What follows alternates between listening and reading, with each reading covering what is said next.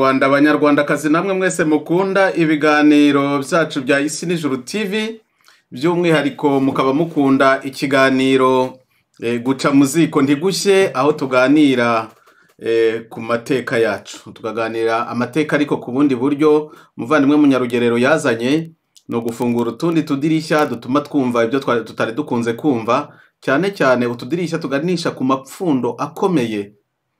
Yagiye aranga abategetsi bakuru mu gihe basimburanaga by'umwihariko ariko n'igihe bayoboraga ayo mapfundo akaba ariyo ahanini eh, kudapfundurwa neza yagiye eh, aturukamo ibibazo byatumye igihugu cyacu kigera mu ngorane zikomeye abantu bakicwa eh, bikaza kugera n'ahantu ha- haticwa abategetsi gusa ahubwo n'abaturage barenga miliyoni bakahasiga ubuzima. Ndongera gushimira munyarugerero wakomeje wafashe igihe mbere na mbere. Ntabwo ibyo atubwira aba ari ibyo yitekerereje cyangwa ashatse kwivugira. Yafashe umwanya afata imyaka akora ubushakashatsi. Nawe yize mu mashuri twizemo. Ariko wajya ku ruhande afata igihe arashakisha amashuri arayakomeza mu gihe abandi bitahiye bajya gukorera amafaranga. Afata umwanya arashakisha afata undi yandika ibitabo none ubu yafashe n'uwo kubivuga. Mm? murabyumva? Afata n'uwo kubivuga ngo abiganirize abanyarwanda Eh, uwumva hari icyo yamwunganiraho akimwunganireho. Uwumva ndetse wenda hari aho yaba yaribeshye nawe afite ijambo yavuga ati ngiye munyaruge- munyarugerero hari aho nam- namuvuguruza ndetse. Munyarugerero bene ibyo ntabitinya ibiganiro nk'ibyo. Ngo iyo turi kumwe. Uko nabibonye ngewe nabonye ibiganiro bifite akamaro nabonye bifite akamaro cyane ndi kubyigiramo kandi hari n'abandi benshi bampa amakuru y'uko bari kunguka bari kubyigiramo eh, bituma tumenya igihugu cyacu. Bituma duha icyubahiro abarideri ba- ba- bakirwaniriye barwaniriye repubulika Eh, tukajyamo tutipfunze mu maso tukamenya akazi gakomeye bakoze. Dore iyi ndirimbo y'abaparimehuti iravuga ati itangira ivuga ati rwose muri impirimbanyi nta modoka mwagiraga nta n'impamba mwagiraga nyamara mwaharaniye rubanda rugufi. Mm. abo ngabo tugomba kubamenya tukamenya rwose akazi bakoze tukakabubahira. Ariko tugomba no kumenya ingorane bagize amakosa se baba barakoze kugira ngo ejo tutazongera kugwa muri bene iyo mitego. Nongeye gushimira rero umuvandimwe munyarugero ngiye kumuha ijambo abasuhuze. Ikiganiro uruhererekane rw'ibiganiro ni guca mu ziko guca mu ziko ntigushye uko ni ukuri Eh, ntacyo twebwe hano dutijya kuvuga. Kandi uko mwabonye uyu eh, mushinga ntawe munyarugero bivuga bivuga ntawe ashinja bivuga ntawe ashaka gucira urubanza arivugira ibyabaye. Eh, icyo nakunze ni ikintu aheraho agahera ku bintu bifatika. Agahera kuri raporo z'inteko ishinga amategeko ati dore perezida kayibanda icyo yasabye dore icyo inteko yakoze dore icyo yasubije dore cyavuyemo. Tugahera nko kuri ibyo nyine mu buryo bw'abenteregituweli tukaganira. Agahera ku bitangazamakuru by'icyo gihe cy'abanyamakuru bavugaga icyo gihe na byo na byo ni ngombwa turi abanyamakuru muri iki gihe tuzi n'agaciro k'itangazamakuru. Itangazamakuru burya rivuga byinshi. Eh, nkaba rero nkushishikaza abanyarwanda abanyarwandakazi ko twakomeza gukunda ibiganiro. Eh, hari uwansabye ejo bundi ati- sinzi kubireba byose. Ongera ubinde guhera ku cyambere munyarugerero yatanze sinari narabyumvise neza kugeza ubu ngubu nze kubona aho nkomereza nuko ndabitereshaje ndamwoherereza. Mubisubiremo guhera kuri guca mu ziko nimero ya mbere kugera ku ya cumi na kabiri tugiyeho uyu munsi murasanga byose bifatanye kandi byose buri kiganiro gifite icyo kitwungura. Uyu munsi guca mu ziko eh, ndigushye eh, insanganyamatsiko ni perezida kayibanda ahangana n'inyenzi zari zuzuye mu karere. Icyo kibazo cy'inyenzi na cyo kigomba kuvugwa tukanacyumva tutagishituraho tukagerageza kumva amapfundo akirimo eh, nuko byaje kugenda nyuma n'ubu biracyadukurikiranya hari abakitwa inyenzi n'ubu ngubu Mm. hari abaje tugira ngo ngo bafite amatwi atendera n'imirizo none imirizo yabo yadukozeho n'amatwi atendera twaje ariko ni ukubisobanukirwa buriya munyarugerero hari abantu bavuga ko bafite amatwi atendera n'imirizo buriya ntabyo bafite koko. Baza babifite uko mbona bameze baza babifite. Ijambo ni ryayo basuhuza abanyarwanda tugatangira ikiganiro. Ah, reka maze gusoza ntajya mu mirizo. Kandi nari mara gusohoze urabumeze neza nawe nawe utangiranye urwenya rushyushye. Urabumeze neza. Komera komera komera francois xavier. Eh, reka rero ikaze abo badukurikiye bose bagi- ntibagire ubwoba imirizo nta bantu bagira imirizo. Abantu ni abantu. Reka tuba tuba abantu mbabarira rero tuba abantu. N'ubu muntu tubukomereho buzatugeza imbere. Ibibazo byose duhura na byo ni uko rimwe na rimwe abantu ko ari abantu. Kandi ko umuntu aba ari agomba kubahirwa umuntu. Ndasohoje abantu bose n'ababishyirwa imirizo bayibike abayifite nabo baba bayifite kandi bari kubeshya zaba ari ingana bayivaneho baba abantu tuba abantu tugire umuntu dukundane kuko ikibazo cya mbere ni urukundo hari umuntu uherutse kusiza ati muri iyi si iyi si igendera ku rukundo mu by'ukuri abantu baberaho urukundo iyo urukundo ruhavuye rero haza agahinda haza agahinda kakavamo uburakari ndetse rimwe na rimwe n'ubugome burya abantu baretse gukundana hazamo kuvuna no kwangana n'ubugome mubyitondere mumenye ko mukunzwe. Nabo ngo baranyanga ko njya mbona hari abajya bakigosora ngo baranyanga Ba- muratigiye muratigiye muratigiye rwose. Abavuga ngo banyanga muratigiye njyewe ntabwo hano kugira ngo mu- munankunde si iki- si cya cyanzinduye ndagira ngo tuganire. Tuganire. Eh, wenda muzasanga ko mbabwira wenda bitabashimishije ariko njye babwira uko nanjye nabibonye kuko nanjye mbisoma hari byinshi nibazaga nkabona eh, koko ni byo.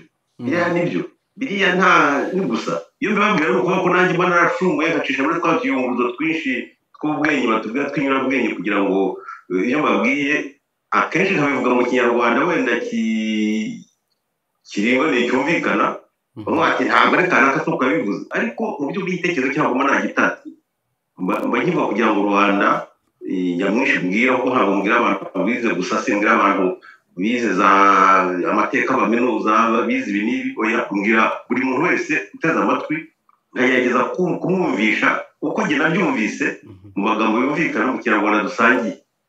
Eh, ni- ni- ushobora kwibeshya aho rwose ntuzatinye kujya mubwira mutarawibeshya ariko icyo mbasabye mureke gutukana.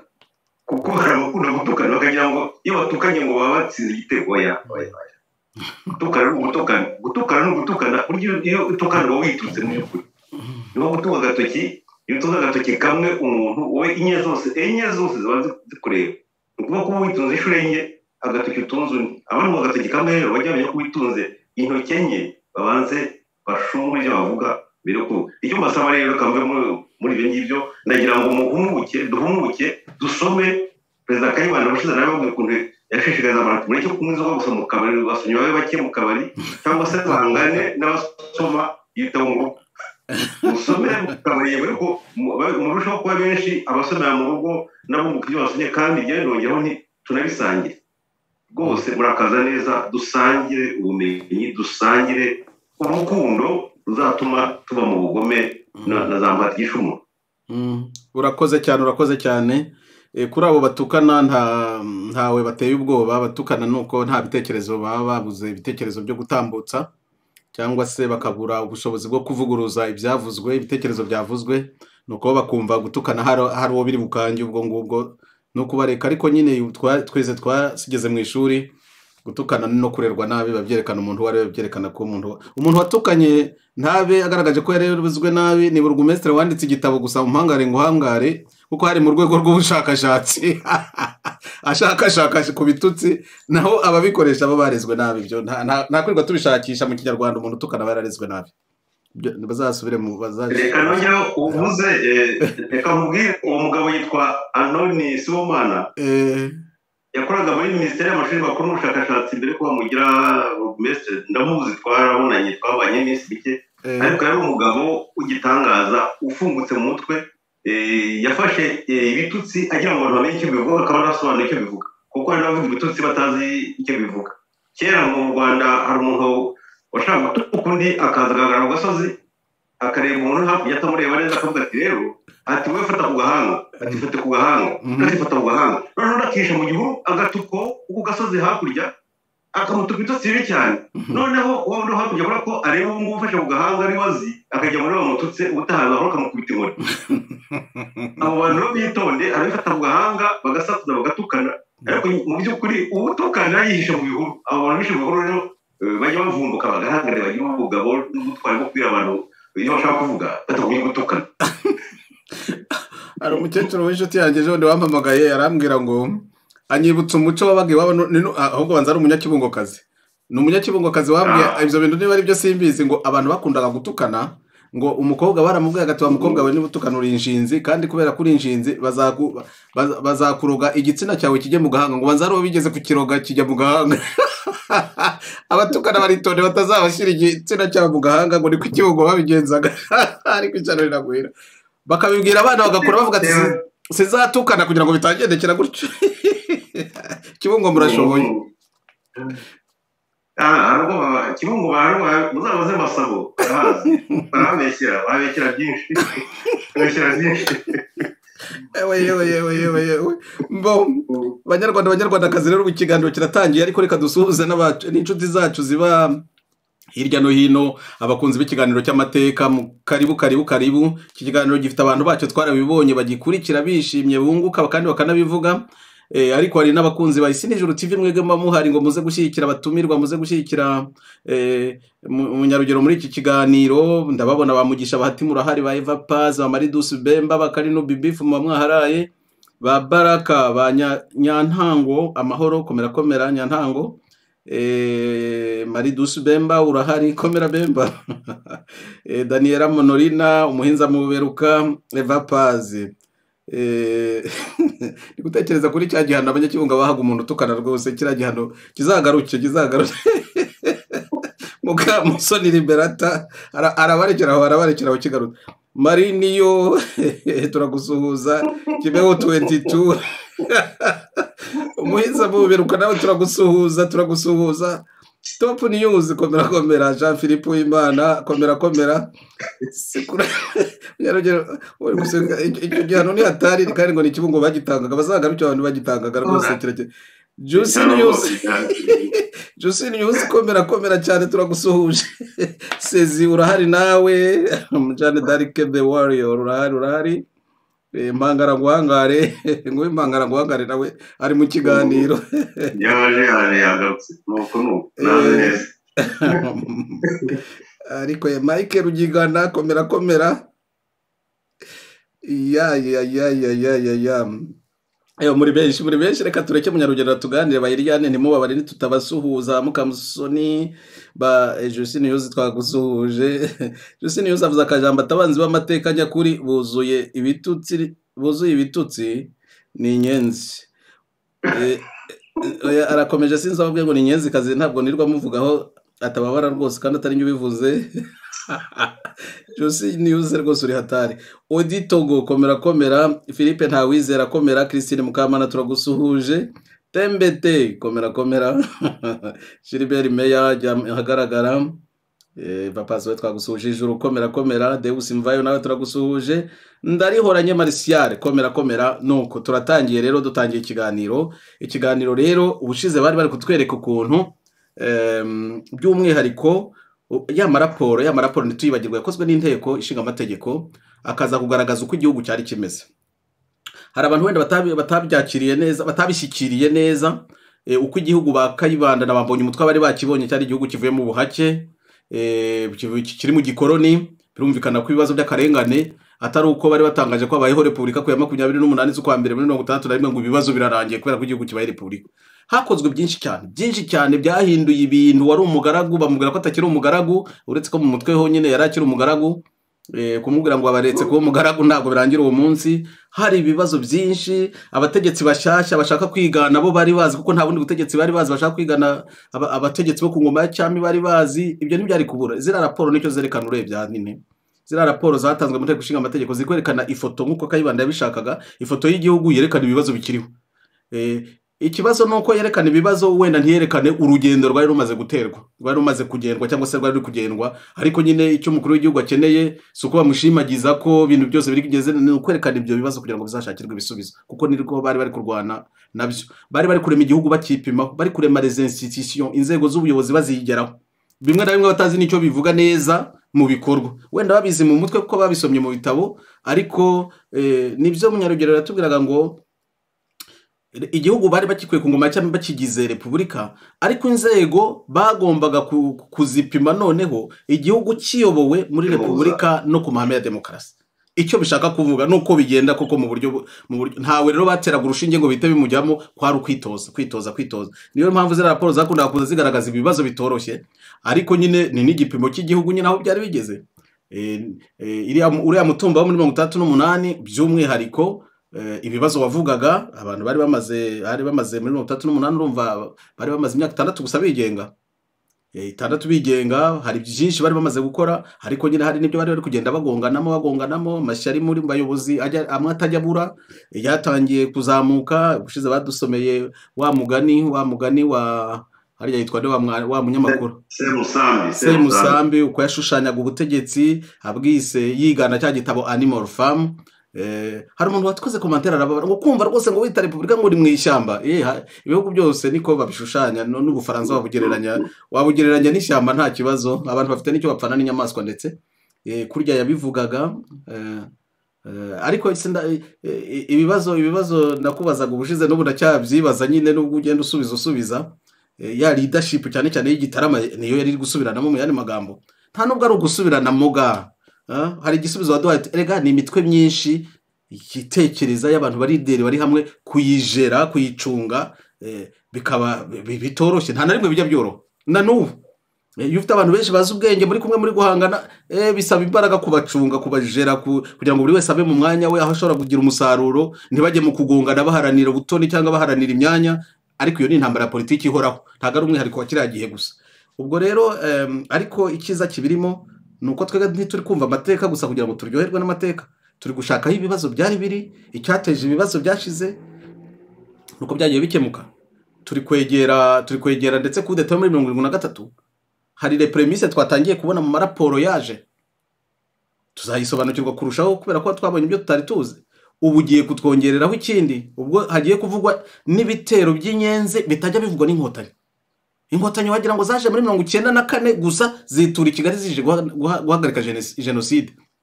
Ntabwo zishaka ko abantu bibuka ko habaye intambara eh, z'inyenzi guhera muri mirongo itandatu na kangahe bikazahagarara muri mirongo itandatu n'umunani kiriya gihe nyine yariya maraporo ari kuza.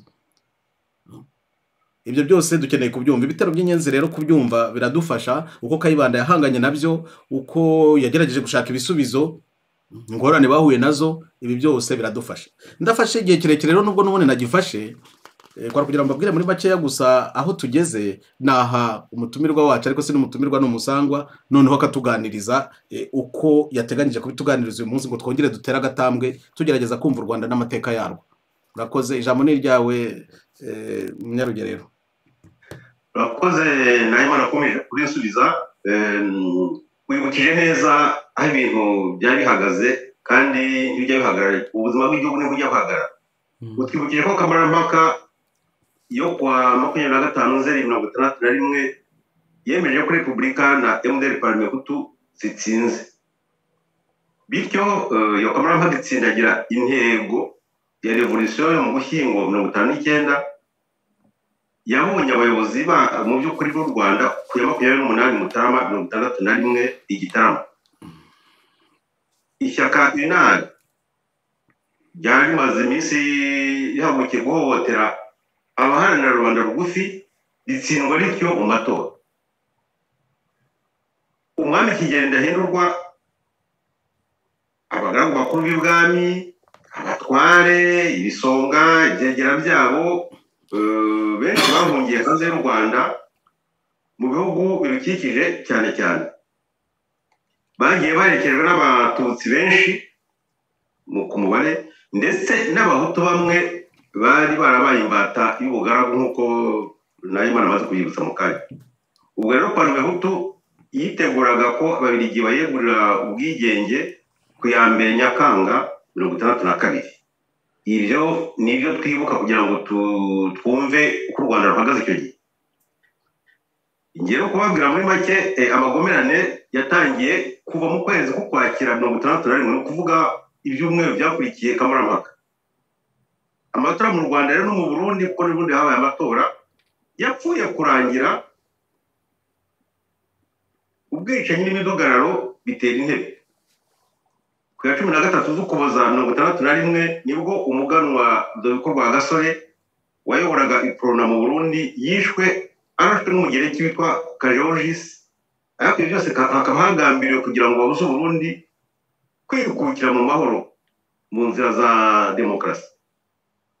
Mu rwanda rero icyo gihe naho hatangiye ibikorwa eh, by'abahunari bihimbye inyenzi. Inyenzi nk'uko koroneli aloyize ngurumbe yabisobanuye yavuze ko inyenzi bivuga ingangurarugo yiyemeje kuba ingenzi. Ingangurarugo bikaba ari umutwe w'ingabo wa kera wari uzwi mu bwami bwo hambere. Eh, ibyo urumva ko ari amagambo ahinnye. Ariko rero bamwe bakavuga ngo izo nyenzi ubundi ushatse byavuye ku nyenzi inyenzi bamwe bafite ikinyarwanda gi- gitomoye bati zari inzoka dusanga mu mazinga yo mu mutara. Ariko yaba inyenzi yaba inyenzi yaba n'inyenzi z'udukoko utwo ngutwo tw'udusimba dukora nijoro n'umwijima uwo mutwe witwa inyenzi wiyise inyenzi eh, wari umutwe mu by'ukuri w'iterabwoba wari wariyegereje kuva mu gihumbi kimwe magana cyenda mirongo itandatu imitwe y'abarwanyi n'abanyapolitike bo muri kongo n'uburundi ngo bifatanye niyo mpamvu babanje kwi- eh, intare cyangwa se simba mu giswahili nk'abakongomani ba murere babyitaga. Abo bose babanje gukoranira i bujumbura yari yarabaye indiri yabi- yabiyise mu gifaransa nationaliste. Ni ukuvuga abakomeye ku ku cyo nakwita gakondo ariko gakondo nyine mu buryo babyumvaga. Eh, ku buryo ibyo byose byatumye ko hagati y'ukwezi kwa gatatu mirongo itandatu na rimwe na gicurasi mirongo itandatu na kabiri leta y'u rwanda yaje gukora icyegeranyo isanga harabaye ibitero by'iterabwoba bigeze kuri mirongo itatu na bitandatu Mm. yaje kugaragaza muri raporo yise toute la sur le terrorisme inyenzi au rwanda. Nigeze kuyibereka ariko nagira ngo nongere wenda kuko ngifite imbere yanjye hano nongere wenda gishyire imbere murebe icyo ari cyo murebe nibura. Toute la sur le terrorisme inyenzi au rwanda. Ni igitabo rero kirimo amagambo akakaye amazina si yose ariko menshi cyane y'ukuntu mu rwanda bapfuye bicanye bazira yuko ubwo butegetsi bushaka kugaruka bwa- bwari buvuyeho. Ibitero mirongo itatu na bitandatu byose byigiye byica abantu kandi abantu b'inzirakarengane abantu batabyiteguye mu rwanda hose. Mhm. ibyo rero bivuze mirongo itatu na bitandatu ariko mu by'ukuri hazaza kimwe simusiga ndakigarukaho cyane kuko cyagize ingaruka zikomeye cyane. Icyo gihe rero eh, bujumbura yari yarabaye indiri bujumbura kuba kapitali y'uburundi icyo gihe yari yarabaye na kapitali y'u rwanda n'uburundi mbere y'uko tubona ubwigenge bujumbura yari yarabaye indiri y'ibitero by'ikubitiro kuva kuva eh, inyenzi zatangira gutera bujumbura yari indiri yazo aho rero ni ho ku itariki ya makumyabiri na rimwe ukuboza mirongo itandatu na rimwe ubwo nawe turatangira no kwigenga. Andereya numa na bagenzi be bahagurutse bayogoza u rwanda. Yumva kuyogoza mugiye kubibona ko ngiye kubaha ingero zigaragara. N'umuhungu utuma eh, yari umuhungu wabyawe n'umubirigi n'umunyarwandakazi akaba n'umuyoboke w'izo nyanza nyine za runari Mm. aho rero bavuye i bujumbura. We n'uwitwa alex mpambara witwa ruzindana. Na gaburiyeri baryoriki bo baje bayobowe n'umugabo witwa kayitare. Kayitare ubwo akaba ari murumuna ari umuhungu wa rukeba rukeba francois mu perezida wa inari Mm. baje bayobowe na kayitare uwo nguwo baza rigize inyoni nyinshi baciye bukavu na goma muri congo. Wagira ngo turimo turagaruka mu gihe byo baciye bukavu na goma muri congo bomokera igisoro muri uganda. Ngo turi muri perezida rungu bajya igisoro muri uganda. Noneho burira ikirunga gahinga mu kinigi bagera i nyarwanda. Bahageze bahakomeretsa bahakomeretsa umuzungu witwa dublin wahingaga ibireti. Ibireti mu gifaransa babyita pirete Mm. wahingaga ibireti aho ngaho eh, eh, noneho eh, bamwiba n'imodoka. Si ukumwica gusa imodoka yabaye itwaye ibageze i rutongo murahareba hafi ya kigali. Noneho eh, bagera kwa mikayire gakwaye. Mikayire gakwaye uwo nguwo eh, bamwicira n'umukozi we. Gakwaye uwo nguwo yayoboraga amashuri ya sosiyete icukura agasegereti yitwa somuki. Yitwaga somuki icyo gihe. Mm. somuki. Somuki sosiyete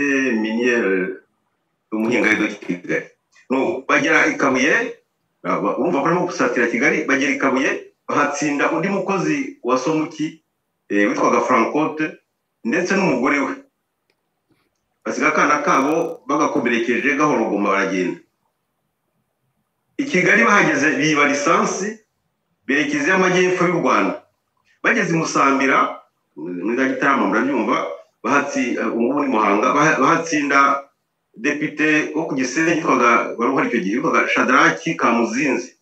Shadaraki kamuzinzi ababaye mu rwanda hambere mwajya mubona imihanda yitwa kamuzinzi ntabwo byaturutse. Mm. baramwi- imihanda mu kigali bari bamwitiriye kamuzinzi. Batsinda depite shadaraki kamuzinzi ndetse na fesito ndushabandi wayoboraga amashuri aho aho ngaho muri ako gace. Mm. biyambukira akanyaru bose biri bujumbura nta nkomyi. Bityo baje gushokerwa gushokerwa kubera ko babonaga ntacyo bi- nta- nta wakumye mu nkokora bagaba ibindi bitero bica abantu mu ruhengeri n'icyanguru ndetse bigeze ku gigabiro bayobowe noneho n'aba wundi nababwiye aloyizi ngurumbe bahita umubirigi witwaga doreyini wayoboraga parike y'akagera bamwitaga konservateur icyo gihe Mm. N'abandi bantu. Ndavuga b'ingenzi kuko iyo mvuze umwe eh, mba mvuze uwari ukomeye uzwi ariko hari benshi bageraga bahagwa kuko ntabwo bafasha ngo birukanye bicaga n'abandi. Ariko icyo gihe rero abo bose icyo gihe byose byagiye biba urumva ko byateye icyo n'iki mu gihugu polisi yari ibariho ibakurikiranye ibashakisha uruhindu. Nibwo rero numa uwo nguwo numa wundi nababwiye wari watewe n'umubirigi n'umunyarwandakazi we na mpambara baje kubafatira i bukoba. Muri tanganyika.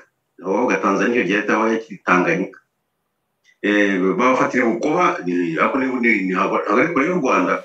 Niho bahungiye bumva nyine ko akarere k'iwacu kari karabaye indiri y'abo bantu bajya aho bashaka bafite ibyitso icyo nakwita ibyitso abantu baba- babakira babacumbikira. Nuko. Bafatira bukoba ku itariki ya mirongo itatu na rimwe ukuboza bacibwa urubanza rwo gupfa mu ruhengeri ku itariki ya kane gicurasi mirongo itandatu na gatatu. Eh, izo manza zaciwe n'ubucamanza bw'u rwanda mu- muri bo bayoboraga izo- manza harimo na dominiko mbonyumutwa urumva ko nyine hari hafite ibintu by'ibi- by'ibi- by'ibimenyetso bikomeye kugira ngo abantu ba- ba- babone babakurikirane babarebe barebe ibyo bakoze kandi bahamwe icyaha banacyemera urumva nyine ko ibyo bintu byari bikomeye cyane. Eh, noneho rero mu mpera za mirongo itandatu na rimwe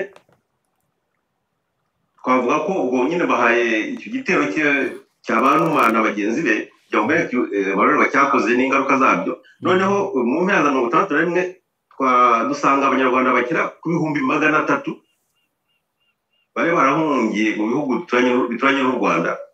Muri bo nk'ibihumbi mirongo itandatu tugereranyije bari muri muri kivu ya kongo. Yari yarigeze kwigenga yari yabonye ubwigenge bwayo ku itariki ya mirongo itatu z'ukwa gatandatu igihumbi kimwe magana cyenda mirongo itandatu. Ariko eh, ubwo bwigenge murabizi bwakurikiwe n'imidugararo eh, ihereye ku mashyamirane ya perezida na minisitiri w'intebe rumumba nawe na kasavubu wayoboraga igihugu. Twabonye mu biganiro byahise ahangaha byaciye ku isi nijoro mugani nko ku mwanya wabyibutsaga twabonye ko kivu yose yari isanzwemo abitaga abanyarwanda. Ndavuga mu gikongomani.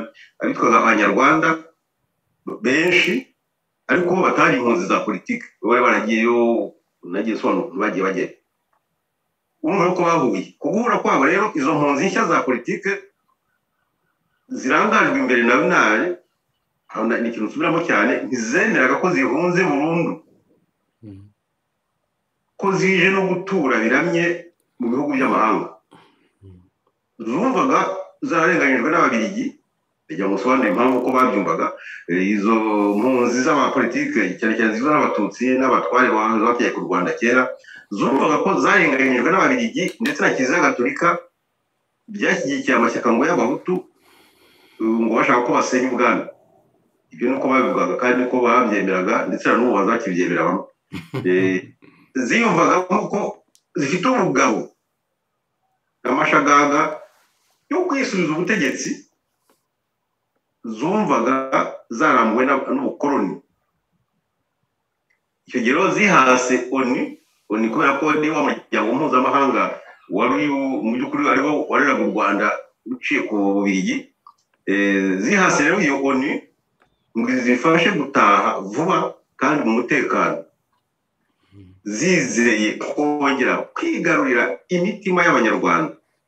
Nidutaha mu mutekano dushyigikiwe na oni mu rwanda bazatwakira rwose amaboko eh, n'umutima wose badutegereje.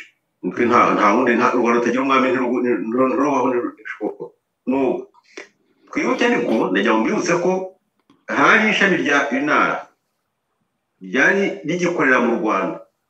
Urumva ko bitari bibiri?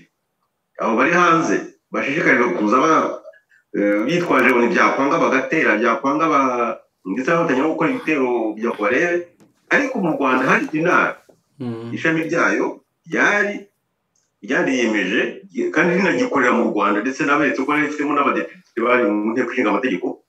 Bicaye n'abaporomigutu bicaye n'abaporosoma bagakorana ndetse na- naberetse ko hamwe na bakayibanda rwagasana ya- yari n'umuvugizi w'inteko rimwe na rimwe bagakorana na za raporo kandi zikumvi- zikumvikana nuko rero iryo shami eh, intare iri hanze ariyo yavuyemo inyenzi cyangwa yashaka kwita inyenzi iyo ngombwa ko abahunze bose ntabwo bari inyenzi tubi- tubyumvikanaho neza impunzi nyinshi ntabwo zari zose ntabwo zari inyenzi. Ariko ab'intagondwa muri bo bafite amashagaga nibo bari bahagurukiye ibyo bitero by'iterabwoba kugira ngo mbese batere igitutu leta ya kayibanda yari ikijyaho nk'uko twabibonye kugira ngo bayitsinsure bayibane mu nzira.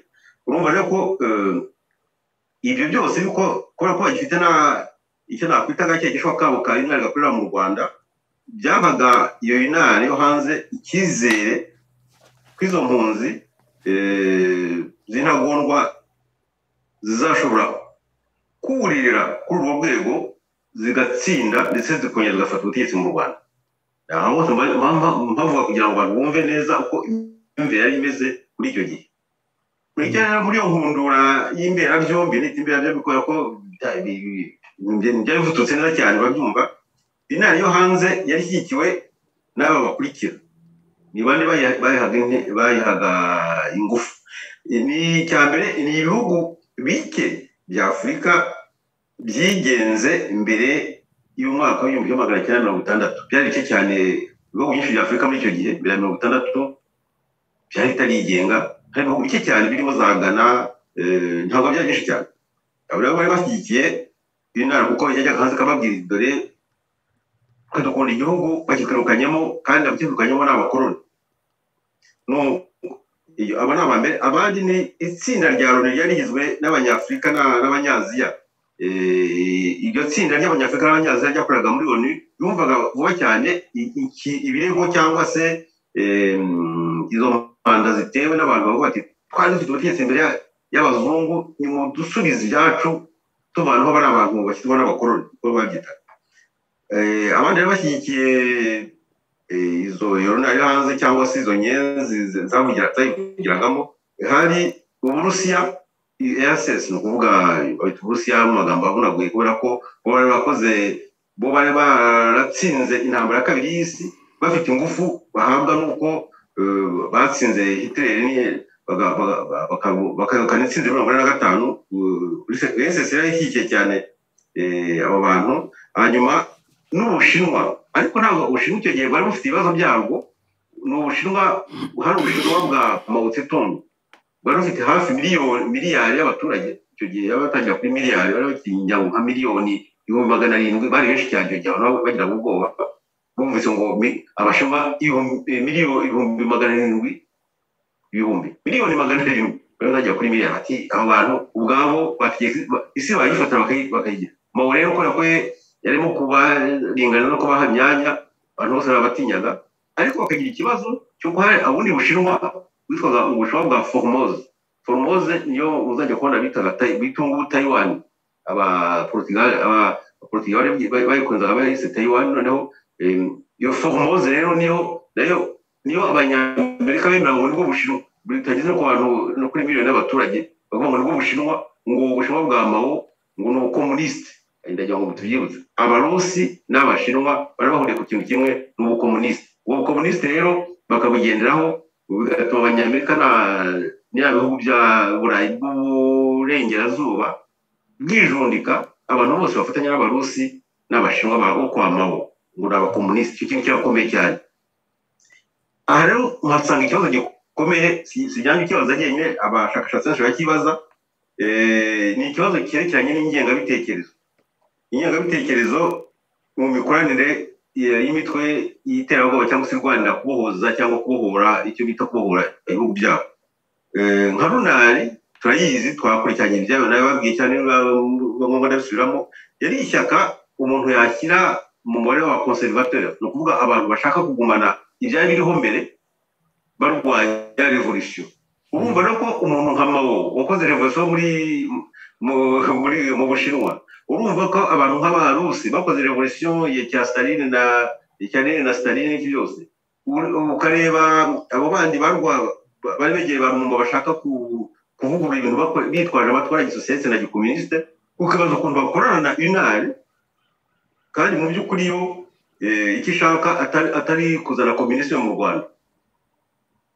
Aho rero haza kuba ikibazo kubera ko abashaka gutsinsura izo nyenzi na unari bavuga ko ari inkomunisite kubera ko zikorana n'abakomunisite barakomeye no kuhafata tukahiga kuko bati abantu bakorana na na ba murere bakorana na ba mm, eh, n'aba- n'abashinwa ba mawu bakorana n'abarusi abo bantu ni abakomunisite Mhm.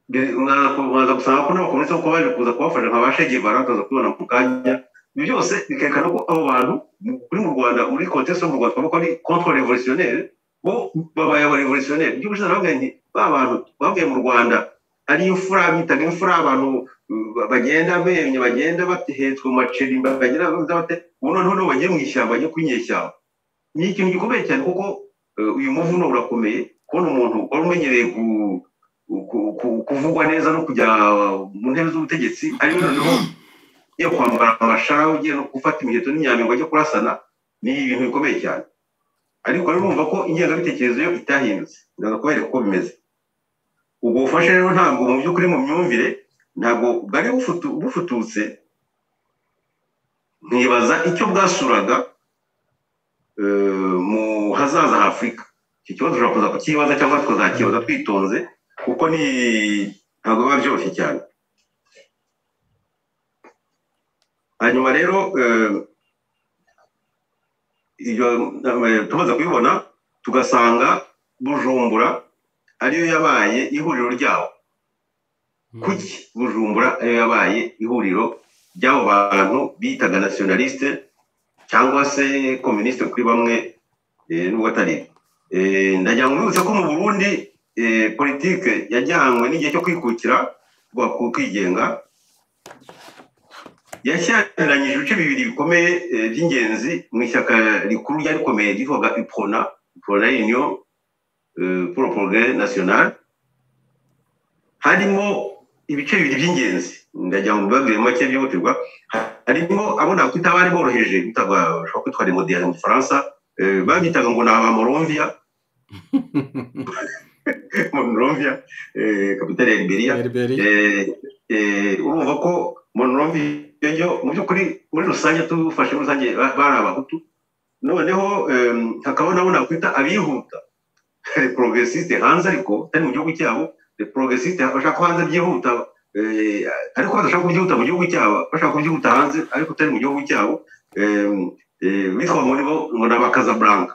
Mu burundi hari morongi irwana kazablanka ariko byose birwanira muri prona abo nabo bakaba ari abatutsi. Mu by'ukuri bari bahoze kera bari ku ngoma eh, ariko uyu Burundi ntabwo bakoze mu rwanda bo nta revolution yabayeyo. Niyo mpamvu bagumye bagakorana ariko bagakorana nanone numva eh, bo- bose birirwa ba- baterana ama- amagambo n'amajanja n'iki barwanira mbese imyanya nabo urabyumva abo bantu rero harakomeye kuko eh, porogaramu mu by'ukuri yari mbese abari bakomeye bari kazablanka kubera ko nyine ba- bakomereje aho bari bagize ubu- babonye ubwigenge. Noneho eh, igahuza na runari ko na yo bagati mwebwe shano muri bene bacu dukomerezeho mudufashe tujye kuvana byo mu rwanda bi- bitubuza amahoro.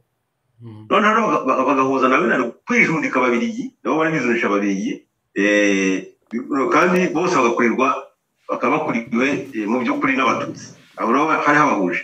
Noneho rero iprona ifashe indongozi yagiye yegereza cyane cyane abashinwa bo kwa mao. Ndetse yemera n'ubutegetsi bwabo mu gihumbi kimwe magana cyenda mirongo itandatu na gatatu. Aha harakomeye kubera ko eh, mu gihe abarundi bafashe bakibona ubwigenge bemeye eh, mu ruhando rw'amahanga ko bemeye ubushinwa bwa mao bwa buri bw'abakomunisite icyo icyo gihe kayibanda we yari agiko- agikomeye kuri ubushinwa bwa formosa. Eh, harakomeye formosa ndetse icyo gihe abantu b'abashinwa bajyaga baza kwigisha abanyarwanda guhinga umuceri mu bishanga bimwe na bimwe.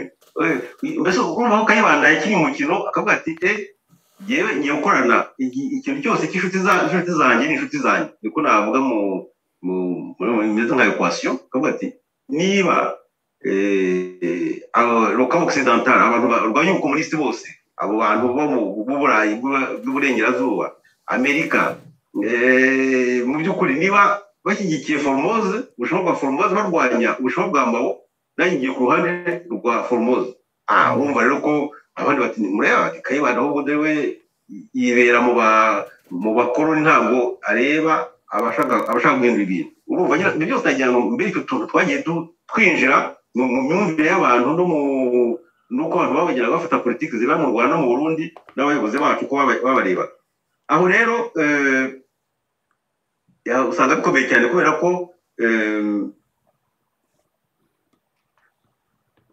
ubushinwa nabwo bwa mao bwahise bubona ko uburundi ari igihugu cy'inshuti bukareba muri kongo bugasanga rumumba yagize ingorane mu rwanda. Kayibanda ntabumva basanga ahubwo uburundi bwo bubemeye bati tugiye guhera i bujumbura tuhagire indiri y'abarwanya bagashaka buhake baba bo muri amerika na- n'abasa nabo n'abanyaburayi b'uburengerazuba aho rero tuhumve cyane kuko iwacu muri cya gihugu cyacu no muri kariya karere kacu ibyo bitekerezo bya ingengabitekerezo by'imibanire y'isi bijya bikunda kuzanamo amakimbirane ntitumenye aho bituruka cyangwa uko abantu babifata aho hari hakomeye cyane noneho rero ubushinwa rero bwashyize nabwo ambasade ikaze i bujumbura ariko bugira ngo cyane cyane bucungire hafi imigendekere ya politike n'imihindukire yayo muri kongo kongo kongo rdcu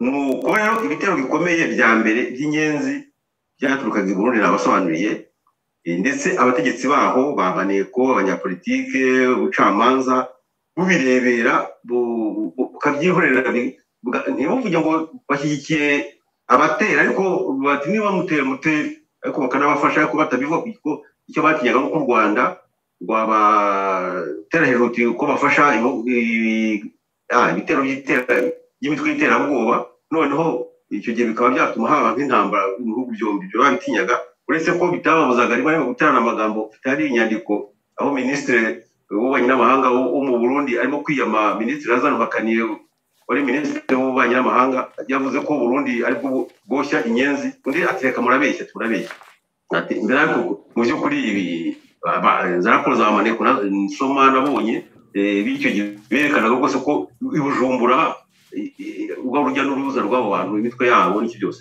Noneho rero eh, biza no kuba agahomamunwa ku buryo umunyarwanda wagiyeyo kumugaragaro yabyiboneye ndaba aka kantu kugira ngo mukumve neza mu kuboza mirongo itandatu na gatatu igihe batera igitero cya simusiga mu bugesera byasatiriye kigali uburundi bubizi ndetse eh, ntibugire icyo bukora. Hari intumwa za minisiteri y'u rwanda zagiye mu burundi bohereza i bujumbura ku itariki ya makumyabiri na gatandatu ukuboza muri mirongo itandatu na gatatu. Minisitiri eh, w'ubucamanza azakira yicaranye n'inyenzi ruharwa izwi yitwaga kabarira. Urumva minisitiri w'igihugu arakira. Intumwa zivuye mu kindi gihugu kije kivuga ko giterwa akabakira yicaranye n'abandi bo kwa mutera. Uwo kabarira yari azwi cyane eh, yari inyenzi rwose izwi cyane. Ndetse mu gihe bagiye no gusura perezida w'inteko ishinga amategeko w'u Burundi abakira yicaranye na papiyasi gatwa. Papiyasi gatwa rero yari umunyamabanga wa kigeli w'umwami kigeli ndahindurwa bakavuga ko icyo gihe yari yaje bujumbura azaniye amafaranga. Izo nyenzi nyine kugira ngo zibone uwahoze gukoze muri ntwari n'iki byose urumva nyine ko umutegetsi w'igihugu uva ko ashyigikiye aba- imitwe igutera wajya kugira imishyikirano yo kugira ngo muri iki kibazo akakwakira ari hamwe na bamwe muri abo bantu uzi bagutera ubwo se hari ikindi aba aguhishe ndetse icyari giteye ubwoba ni uko uwo nguwo uwo minisitiri perezida w'inteko ishinga amategeko we yanamwakiriye ari hamwe n'umushinwa witwa kawori yang. Umushinwa kawori yang n'abandi. Kawori yang ngo nyine yari yari yarabijwe n'ushobora kuza nyine gufata gufatanya n'iyo mitwe y'iterabwoba kugira ngo afashe abo bantu bara urumva nyine ko nubwo uburundi bwa ku mugaragaro bwerekanaga za kominike amatangazo avuga ngo ntawe duhuriye na byo. Ariko mu by'ukuri mu bikorwa ndetse ntibatinyaga no kwerekana mu nama eh, ku mugaragaro nk'izo bari hamwe n'abahagarariye iyo mitwe. Muri kamena rero mirongo itandatu na kane eh, uwitwa kosi marebero kosi marebero rwanda namuvuze nihuta cyane ariko igihe umwami rudahigwa yashaka gushyiraho yashaka nubwo bahaye kuyobora inari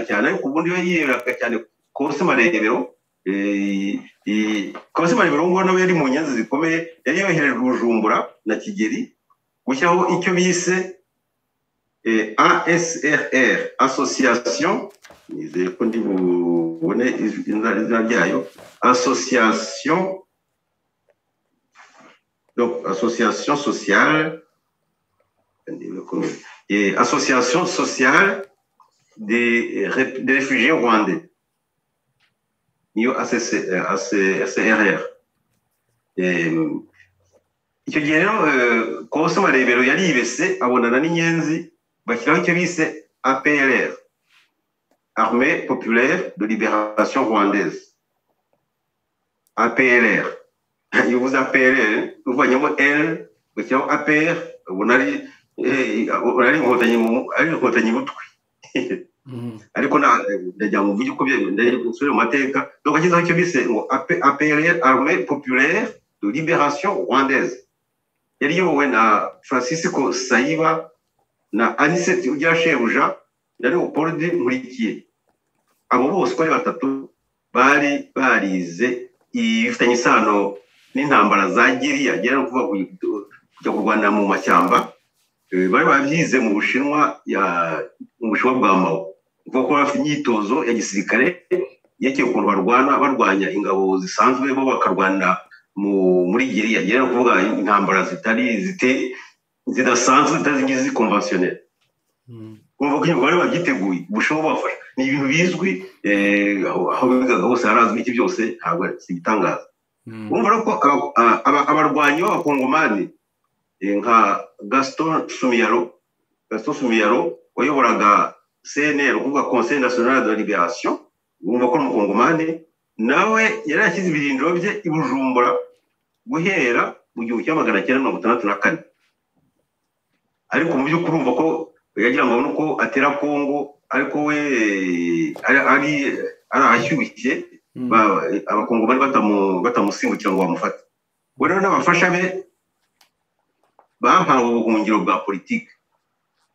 Abarundi bahawe ubuhungiro bwa politiki. Ukuvuga ko iyo umuntu aguhaye ubuhungiro bwa politiki ni ukuvuga ko ibyo ukora wenda ntababishyigikiye ariko abagukingiye ikibaba nuko rero ibyo bitaga jeunesse rwa gasore abantu bazi za grr i burundi bazi jeunesse rwi rwa gasore za iprona na ftb ftb na yo yari ya iprona yari federation de travailleurs du burundi yari sans syndicat.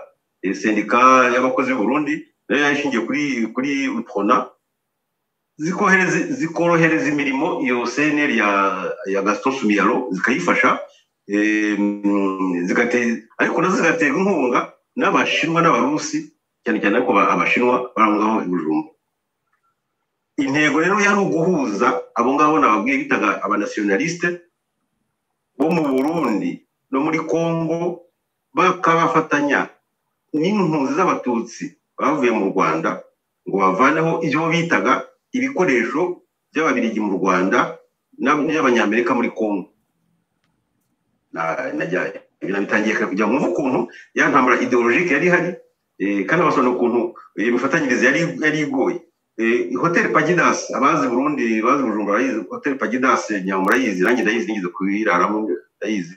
Hoteli pagidasi rero aho mu cyumba aho somero yari atuye mu cyumba cye bose ni ho bakuraga bagakora inama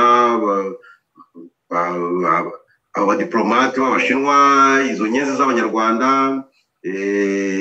abarwanyi b'abakongomani abarundi bo muri kazablanka abo ngabo nyine bashyigikiye ibyo byose bakaza bakahurira bakajya inama bakanoza imigambi y'ukuntu bazajya babigenza. Ndetse babonye uruvugiro rukaze kuva ku itariki ya mirongo itatu z'ukwa gatatu mirongo itandatu na kane aho leta y'umuhutu witwaga piyeri nyina n'umwe bayisimburiye kazablanka piyeri nyina n'umwe nguyu yari umuntu ushyira mu gaciro yari nko mu rwego rwa rwagasore ariko leta ye baje kuyikomeza barayimunga bayirwanya bayivanaho ariko bakayivanaho uyu nguyu ngenda n'umwe nawe yari afite amashaka nk'aya rwagasore nawe yari yumvaga afite imyumvire eh, yegereye abo ngabo ba- abo bashinwa bo kwa mao ariko rero bakaba batamushyira amakenga bavuga ati twebwe bakazabura turabufashe niba tubashe ubutegetsi kuko bahoraga nyine ba- ba- ba- ba- barebana ati reka tumusimbure noneho twifatire ibintu tubikore. Mhm. icyo rero ikibazo kikaba mu- bakoranye bate rero? Bakoranaga bate abo bose? Mu by'ukuri icyo bari bahuriyeho abo bose mubwiye abakongomani abarundi abanyarwanda aba- abo bose bari uko bavomaga mu kigega cyangwa se mu iriba rimwe. Eh, nk'ubwo cnr ya ya yo- ya umwe usumira yakoragamo yari yavukiye i brazzaville muri congo brazzaville ntabwo ari congo kinshasa. Yavukiye congo brazzaville muri nzeri mirongo itandatu na gatatu. Ishyigikiwe n'uburusi n'abashinwa buri gihe uburusi n'abashinwa babaga bashyigikiye izo ngoma eh, zishaka kwibohora cyangwa se kurwanya ibyo bitaga mpatsibihugu z'aba- z'i burayi n'abanyamerika ariko zikaba ziri mu matsinda abiri ayo matsinda abiri ya cnl ya benye ariyo yayifashijwe n'abarusi ari na yo sumiyaro ya- yako- yakoreraga hakaba n'itsinda rya boshe ariho ishyigikiwe n'aba- n'abashinwa bo kwa mao em, yakoranaga n'itwa murere. Nza kubabwira za Si- za simba ba murere eh, nawe wafashwaga n'abashinwa bagakorana. Urumva nyine ko eh, abo dusanga inyuma buri gihe ni abashinwa ni abarusi bagakoresha iyo mitwe eh, na kode y'iterabwoba ngeranye nk'uko leta z'ibihugu baturukamo zashobora kubita kandi ku buryo bwumvikana ariko rero nabasubiriyemo iby'ingengabitekerezo si byo byari bishishikaje inyenzi za runaka. Ibyo by'ingengabitekerezo bya komunisme bya kapitalisme bya progressisme bya si cyo kibazo bari bafite. Ikibazo cyabo eh, byishakiraga ibintu bitatu. Eh, inyenzi za yunani zishakiraga ibintu bitatu. N'inkunga y'imari. Babaha amafaranga kugira ngo babone ko bagura intwaro babone n'imyambaro babone eh, n'igitunga izo ngabo zabo eh, eh, iyo mitwe yabo. Inkunga y'imari itubutse kandi ihoraho icya kabiri ushaka intwaro ubwazo kuko burya intwaro ntabwo upfa kuzibona uko ubonye akenshi iyo udacishije mu gihugu ngo kigufashe ntabwo ubona uko ubona intwaro kuko intwaro akenshi ziba no ku rugamba ziba zifite nimero hari uburyo bwinshi bwo kubona intwaro iyo intwaro z'inyeshyamba ziba zigoye zigomba guca kugira igihugu zigitwikira noneho rero no kubona imyitozo bino bitatu imari itubutse intwaro n'imyitozo kugira ngo abantu babo babashe guhangana nabo n'izo ngabo z'u rwanda cyangwa zo muri kongo. Nuko rero eh, uwo nguwo gaston sumiyaro yageze i bujumbura mu mpera z'ukwezi kwa mbere mirongo itandatu na kane igihe inyenzi zari zimaze gutsindirwa mu gitero n'isi simusiga cyabaye i bugesera na kanzenze muri kilometero makumyabiri ugera i kigali.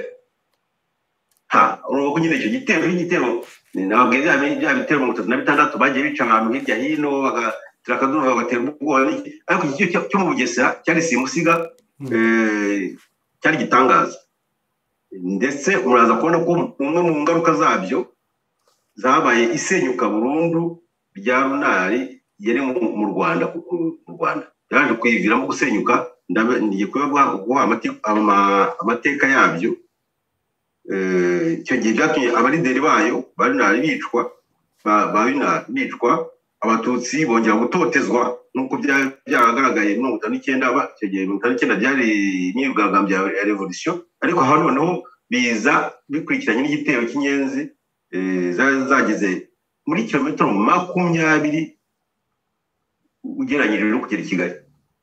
Byari bikomeye cyane. Byari hafi yo gufata ubutegetsi. No eh, abatutsi banjye batotezwa n'izindi mpunzi z'abatutsi zisanga izindi mbere yo kujya kuri icyo ngicyo eh, urakoze cyane kutuganiriza urwo rucangacange rwa bariya bantu bari bari eh, ba- bari kwitegura mbese guerres de liberation haba muri congo haba mu burundi haba mu rwanda ukuntu bose bari bafite ibirindiro ibirindiro mu bujumbura mu burundi kandi bashyigikirwa n'abantu bamwe bashyigikirwa n'uburusiya bashyigikirwa n'ubushinwa wagira ngo ni byo biri kugaruka muri iki gihe. Ahari simbizi nubwo bisa ukundi. Reka tubanze twumve ka karirimbo gatoya kadutere morale ka- ka- k'abaparimehutu b'impirimbanyi. Hanyuma tuze ugeze kuri point ikomeye cyane dukeneye kumva ingaruka byagize mu rwanda cyane cyane iyo wari uvuze ikomeye gusenyuka kwa runari. Kuko kugeza ubu ngubu eh, ubushize waratuganirije kuri legislatire ya mbere amashyaka yari akiriho kuri legislatire ya kabiri watwiciye ijisho uravuga ngo abadepite bose mirongo ine na bangahe mirongo ine na barindwi harimo n'aba na ba bandi basimbura bari abaparimehutu nta mashyaka mbese akiriho. None ugiye kutubwira irya mbere muri yo irya parimehutu ko ryasenyutse reka twumve bariya baparimehutu gatoya turaje. Rya inari. Pardon rya inari. Turaje utubwireho gatoya uko byagenze.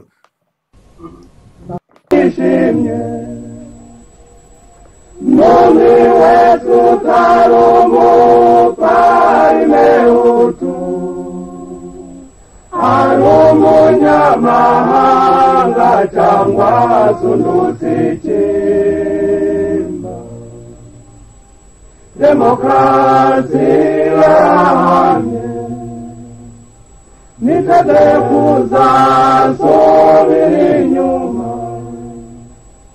ni mocho tulemere nashi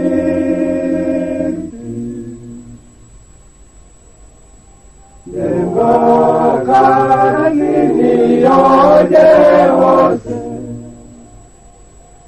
Moro jere minyenyeri zopiduru Ari jari ni no duhoi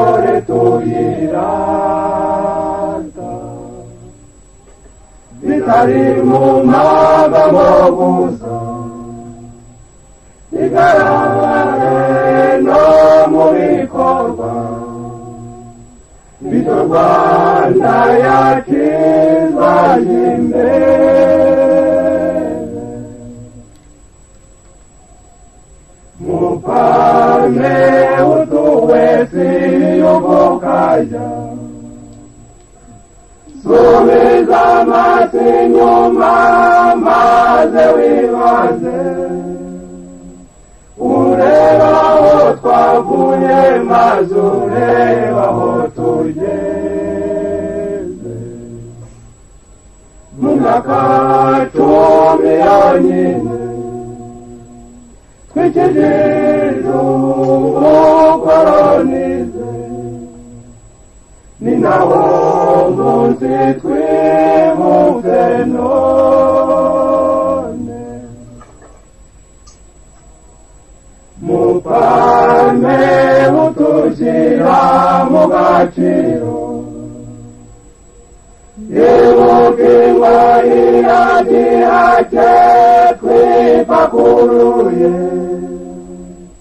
Na calle comune facavale li vivoco. Di do giorte nava vicino, Della na niraggio. Ni mucho se se hamne primo vuce.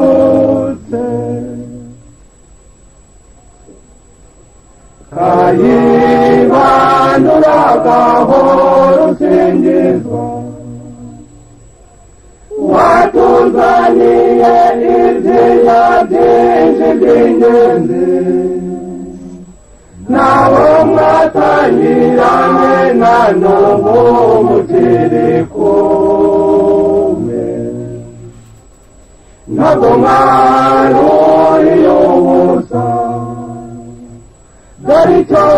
mwaharaniraga mwakigezeho tubahaye impundu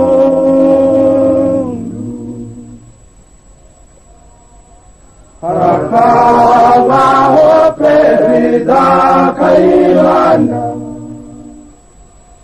harakabaho n'abategetsi bamufasha kabaho kandi ibihugu by'amashuti harakabaho abaturage harakabaho na leta yabo harakabaho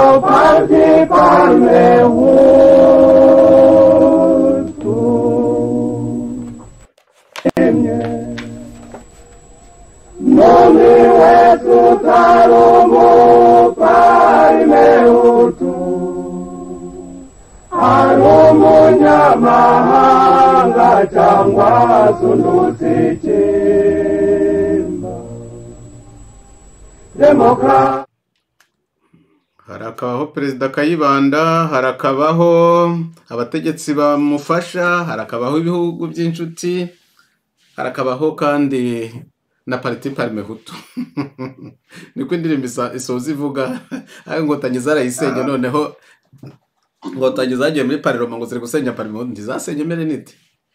Eh, ariko ngo, zasenye ngo mdr kubera ko ari parime hutu reka twikomereze tuzabigeraho na byo tuzabigeraho. Nuko wari utubwiye rero ko biriya bitero by'inyenzi uko nguko bari bari kwisuganya ku mugaragaro mu by'ukuri batihishiriye. Mm. aho bize hazwi ababafasha bazwi bafite ibirindiro cyangwa bazariyeri mu burundi. Uti byaje kugira ingaruka mu rwanda ndetse hagira abantu bicwa na pariturunari hahurira n'ingorane byagenze bite? Mm. Eh, nahereye ko ibyo byose byafatiye ku gitero simusiga cyo mu bugesera. Eh, ni cyo ugiye kubanyuriramo kugira ngo mwumve ukuntu byari bitoroshye. Eh, ubwo rero no- ni umugabo witwa rukeba buri gihe turamubona francisco rukeba hamud ben salim kayitare umuhungu wa rukeba na nzamwita nibo bayoboye icyo gitero gikomeye cyo mu bugesera. bateyeho mu bugesera gusa. Ntihaba ibindi bitero. Mu by'ukuri byari biteganyijwe icyarimwe i kabare muri uganda ngara muri tanganyika goma muri congo ngozi na kayanza na Ka- eh, akayanza mu burundi. Ubundi byagomba abo bose bagomba gutera icyarimwe. Mu by'ukuri u rwanda rugatangwatangwa. Noneho eh, ingabo z'igihugu icyo gihe ingabo z'u rwanda icyo bita garde nationale ntabwo zari zirengeje nk'igihumbi abasirikare igihumbi.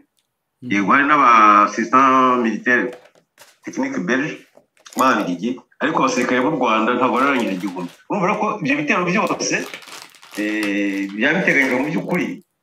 Iyo bibera icyarimwe eh, u rwanda rwajya ku bisobanuro ariko rero kubera ko batashoboye icyo gihe nta rezo sosiyo zari zikomeye cyane nk'ubu zari zihari imbuga mbwirwaruhame ntabwo zihari cyane ku buryo eh, abo mu bugesera bateye eh, noneho birihuta cyane bafata ikigo cya gaku mu bugesera bagifata vuba vuba bidatinze noneho baza kugifata eh, bahugira mu kwishima no kwishimira intsinzi eh, bajya muri peyizana y'inyamata peyizana ni ahantu rero barashyize eh, ah, benshi mu batutsi bari barahimuriwe muri mirongo itanu n'icyenda mirongo itandatu rimwe igihe cya- revolisiyo bari barabajyanye muri peyizana y'inyamata none icyo gihe urumva ko bariho baho bagiye bajya kwishima ati dore turaje abana bacu turaje nimwishime dore tujya dore turi muri kilometero makumyabiri z'i kigali twahageze.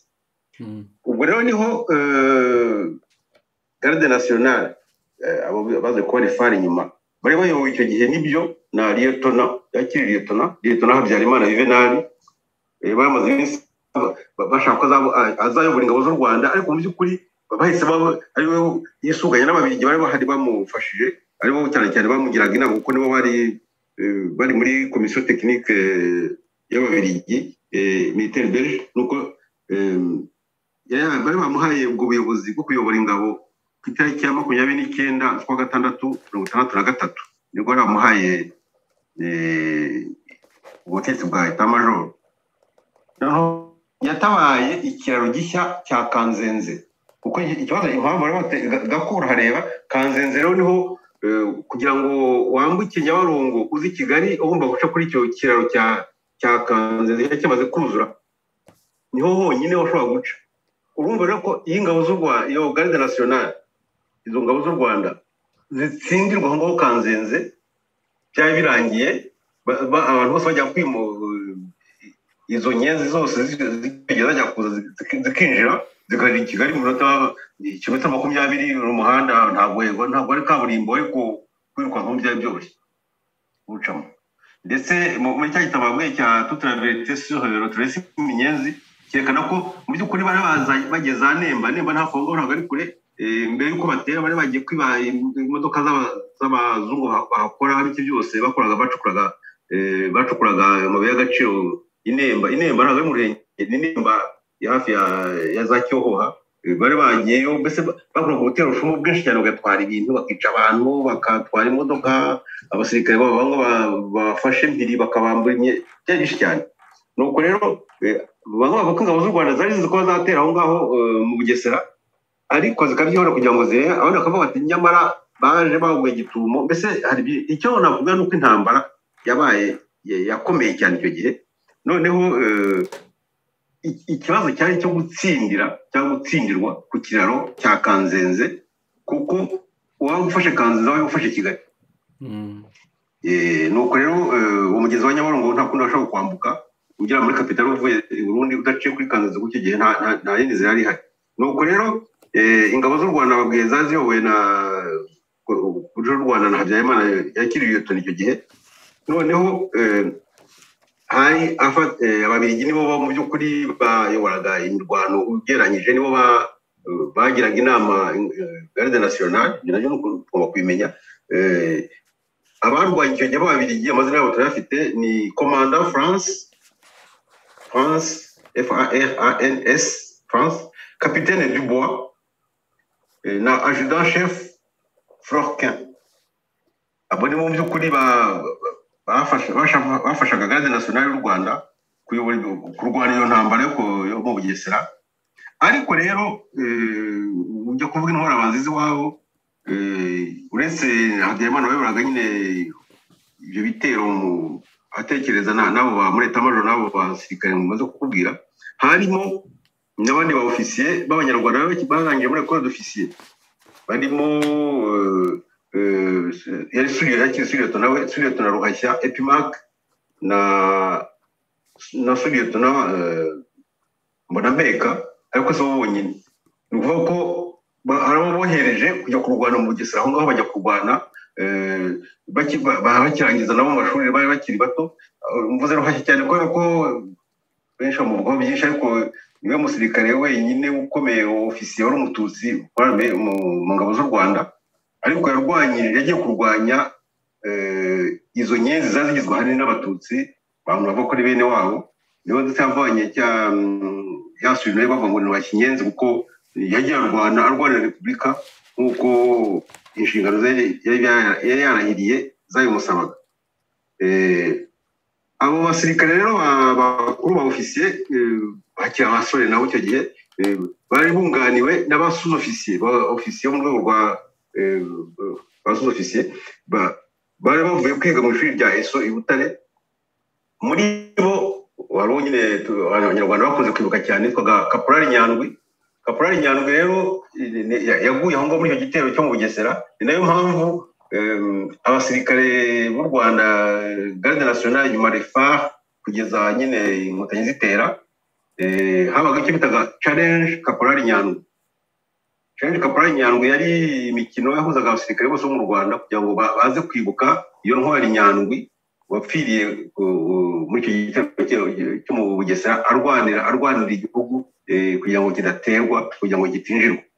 Eh, ababaye mu rwanda mbere ya mirongo icyenda barabizi challenge kaporari nyandwi eh, wari umukino wa gisirikare ukomeye mu rwanda yahuzaga zexfar bakarusha mu nzego nyinshi bakabona n'imidari nyinshi cyane aho rero eh, urwo rugero fatizo mu basirikare b'u rwanda bagwitse kaporari nyandwi ni icyitegererezo nk'abandi bose. Hanyuma abasigaye rero eh, urumva nyine eh, iyo contre offensive yarabaye noneho abandi bose barimo kwishimira za gako bari bagiye mu- mu- muri perezida na nyamata n'iki byose bose barirukanka barahunga abatarishwe basuye i burundi.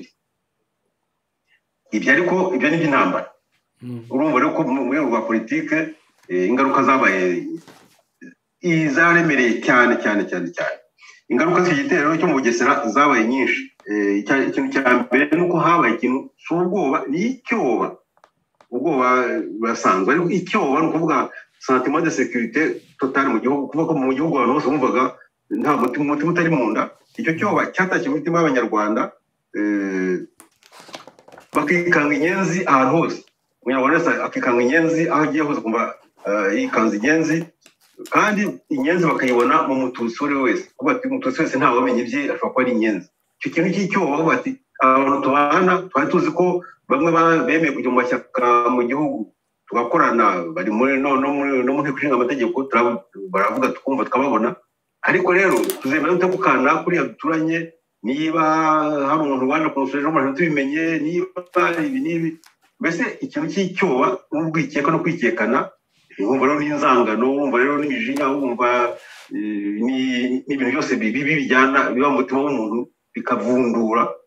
Noneho eh, bituma eh, kayibanda yohereza abantu avuga ati abategetsi mwe mujye kubwira abaturage bihagarareho kubera ko yego dufite abasirikare ingabo z'igihugu ziragakora ziraturwanirira ariko eh, mwimenye mwirwaneho ntimutagira abantu babinjirana. Icyo bita nuzara resistance civile eh, eh, nuko. Bamwe rero urumva ko ahantu bumva amabwiriza bakumva ko bashaka abako kuko abirwanyaho byo kwihagararaho kugira ngo badaterwa hakaba n'ababikoreshaga kugira ngo bajye kwanduranya. Niba yarwaye umuntu ati uriya muntu yarakize akagira ati uyu nguyu ni inyenzi ba- ba- bakamukanira umukwiye urumva ko ari ibintu nyine eh, hajemo no gukabya. Mu bice bimwe na bimwe eh, birakabye cyane. Mu gikongoro byarakabije cyane. Abantu bapfa ku bwinshi bwose biteye ubwoba. Eh, ndetse rimwe na rimwe n'abategetsi babirimo bavuga ati mugende muvanaho noneho bagahengera. Uko haba ibyo bibazo bakagira bati mugende muvanaho n'akanaka mm, nawe ni inyenzi. Ntawe umwizera ni inyenzi.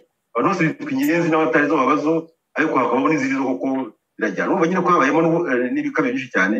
Noneho eh, ariko rero eh, igikorwa gikomeye cya leta twavuga ni uko i kigali eh, ku itariki ya makumyabiri na rimwe ukuboza ni ukuvuga hafi ya noheli mirongo itandatu na gatatu polisi y'igihugu yakoze umukwabo. Icyo bita umukwabo ifata abo batutsi bari bakomeye. Icyo gihe aho bari i kigali Ni ukuvuga abanyapolitiki ariko harimo n'aba- n'abacuruzi bakomeye byose b'icyo gihe.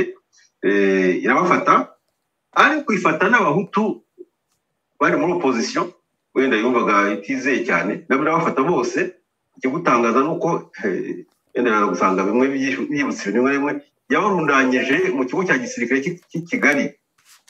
Ngo ijonjoremo ibyo ni ijambo ntibarikoresheje icyo gihe ariko ibyo umuntu yakwita ibyitso by'izo nyenzi ijambo ibyitso byakoreshejwe muri mirongo icyenda ariko umuntu agereranyije yasanga n'icyo gihe abo bantu bavuga ngo ngo ni amashumi ya- ya- y'abarunari ngo abafatanyabyaha ba- bagiye kuvuga bati turebe abo bantu tubafate turebe tubabaze ni uko."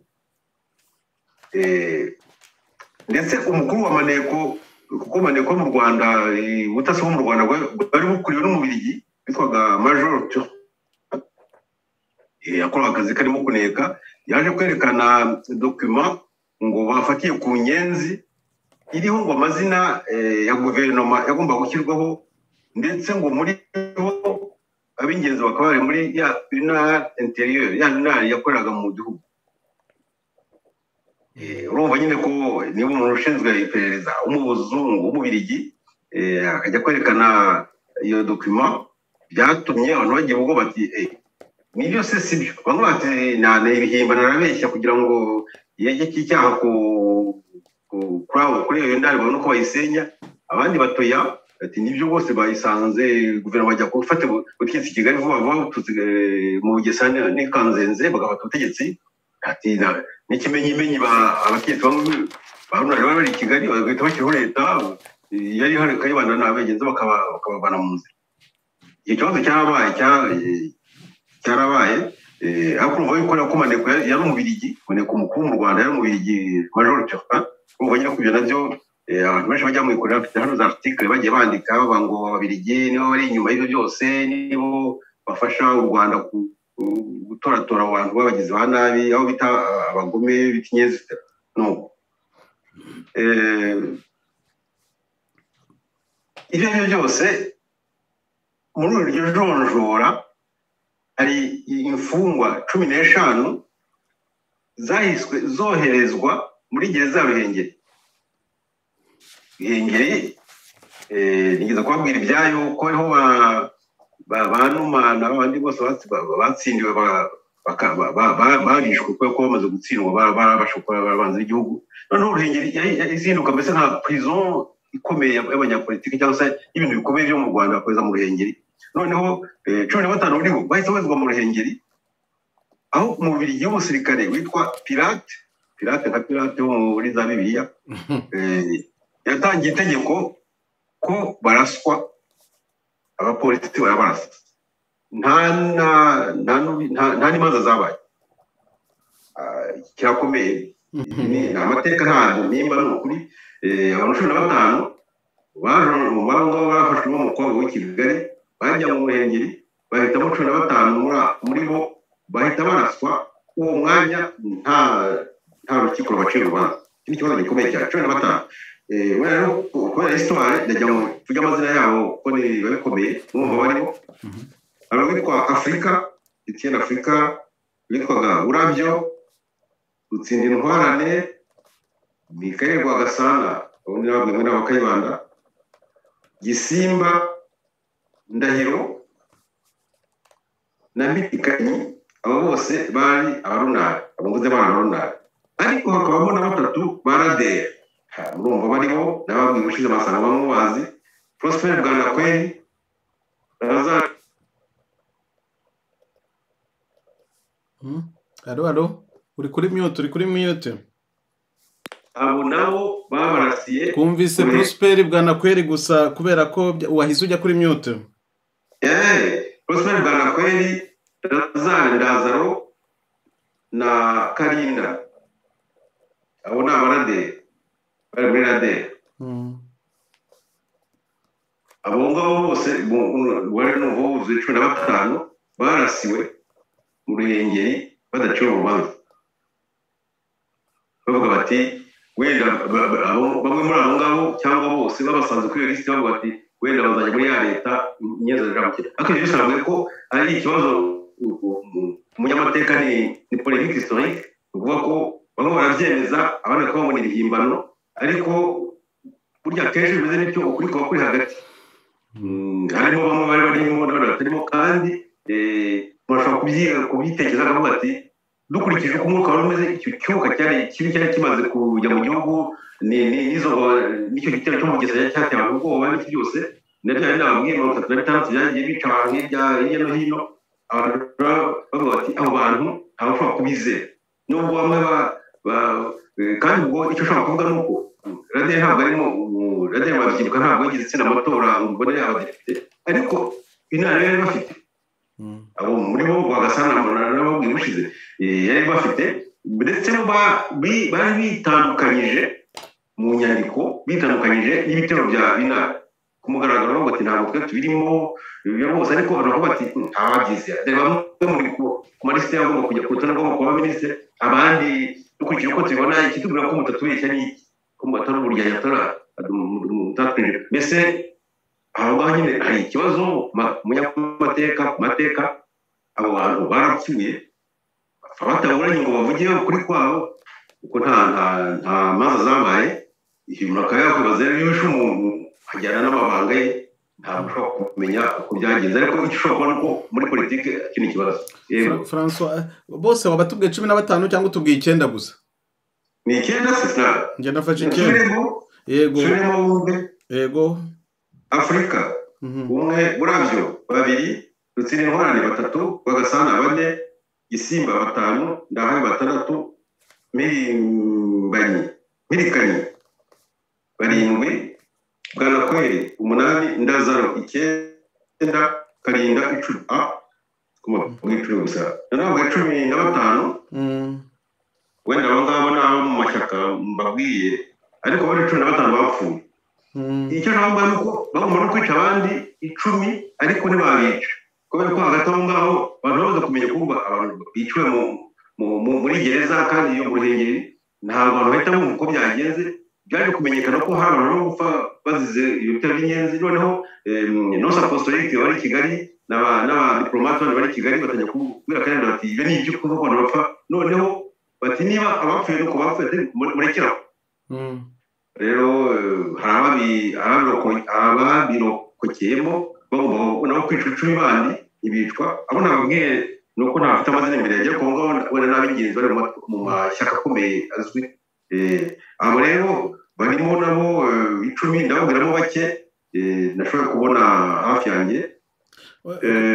Ikibazo kigeze kibazwa kuri aba bari baratandukanyijwe na runari yo hanze ko atari sitarategi runari yo hanze yaba yarakoze kugira ngo ibicice ibashyira kuri lisiti ibashyira kuri taragite ivuga ko ari we azarema leta ntabwo bishoboka ko ariyo yashatse kubicisha muri ubwo buryo. Ubazi ikibazo cyiza cyane kuko naza kujya muri polemike kuko ni polemike yumvikana. Iyo abantu iyo umva ko inama interieur inama yemewe gukorana na panutu na porosoma mu rwanda iri mu gihugu ntabwo ntabwo ntabwo yari icyumvikana na inama inyenzi zo hanze. Ndavuga ku bibazo by'imyumvire y'imigendekere ya politiki. Uvuga ko inyenzi zemerewe kurwana gukoresha ingufu n'imbaraga no kwica abo barahangana n'abapanutu n'abo ba porosoma n'abandi bose mu gihugu tuvuge twumvikanishe icyerekezo cyacu tuve mu gihugu. Urumva rero ko bavuga ati yari wa mugani ni bya karima yavuze ngo abahunganye n'inyenzi n'abatutsi n'abatutsi. Wenda ngo abahunye mu gihugu bari babo mwebwe muri muri muri hajya bita mu ngo muri abagambanyi wa muri mwatugambaniye ngo mu gihugu kugira ngo twese duhunge noneho tuzitera icyarimwe ibyo byashoboka ariko numva ko ari umuntu yabakoze we nuko twabibonye muri mirongo icyenda na kane. Ni meme fenomene ingotanyi ziratera ahubwo zigahungisha abazo bumvikana ahubwo zikabigereka ku basigaye batakoranye na zo akaba ari bo bahagwa. Ibyo byo muri politike no mu rwanda no mu mirwanire yagiye bibamo ni ukuvuga ko iyo tureba amateka yacu tubakorera byashoboka ibyo uvuga rwose birashoboka. Ariko bishoboka nuko n'akayimana nawe yigira ubwoba cyangwa se aba bantu tubonye ku buryo bwo kugira ngo tubikize. Buri wese abo bantu ashobora kwishimira ko bamuvuye imbere. Buri wese ashobora kubyishimira. Udashaka demokarasi mu gihugu cyangwa ubeshya ko ishaka mu by'ukuri avuga ati ntabwo ushaka abandwanya.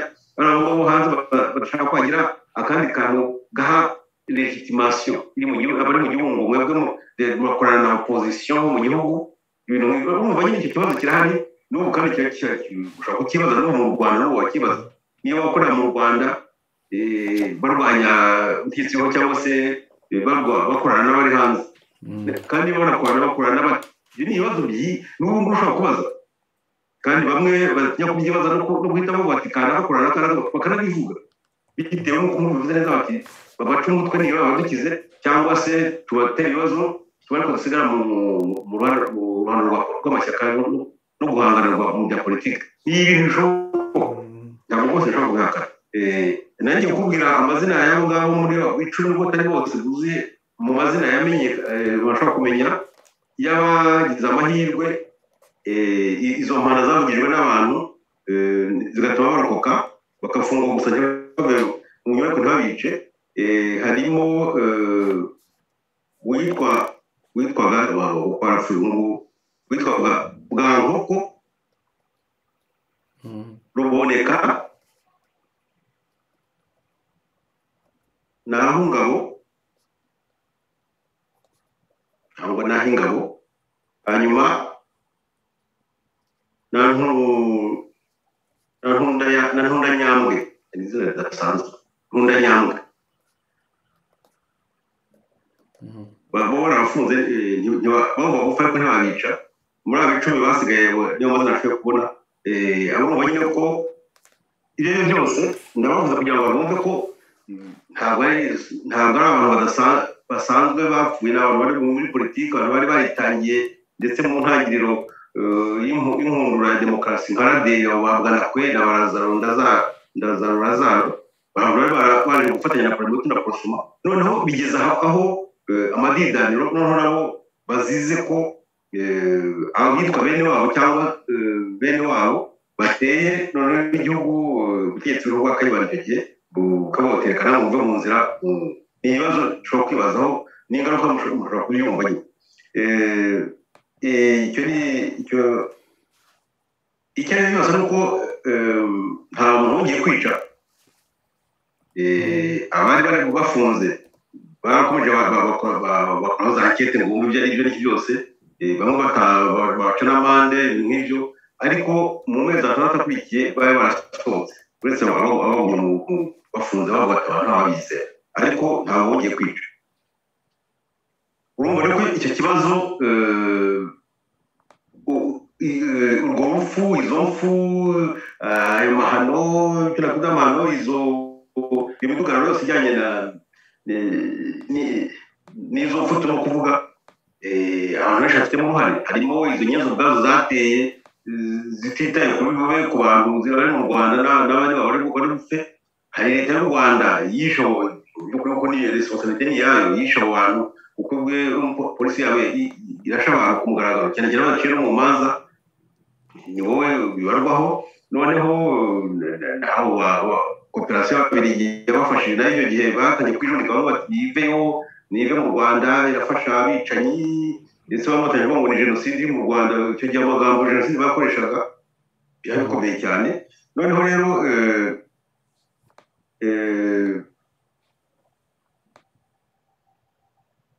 eh, eh, na leta y'uburundi rero umuntu ashobora kuvuga ko na yo ifite uruhare kuko ntacyo yakoze kugira ngo ibuze ibyo bitero kuba mbese wasanga abantu benshi bafite uruhare muri icyo mu- mu- muri ibyo bintu byose byagiye biba mu I- impamvu bivuga ni uko hari nka leta zabaye intangarugero nka leta ya uganda yo yabonye ibyo byose yabibonye kare Eh, iyi iravuga iti wowe mwami kigeli dore uri iwacu Eh, kigeli ndahindurwa yari mu bugande ati wowe uri iwacu none kuva ko kuva tukuboneye waka imfashanyo ngo zo gutera igihugu cyawe eh, tuvire ku gihugu tuvire mu gihugu ugenda.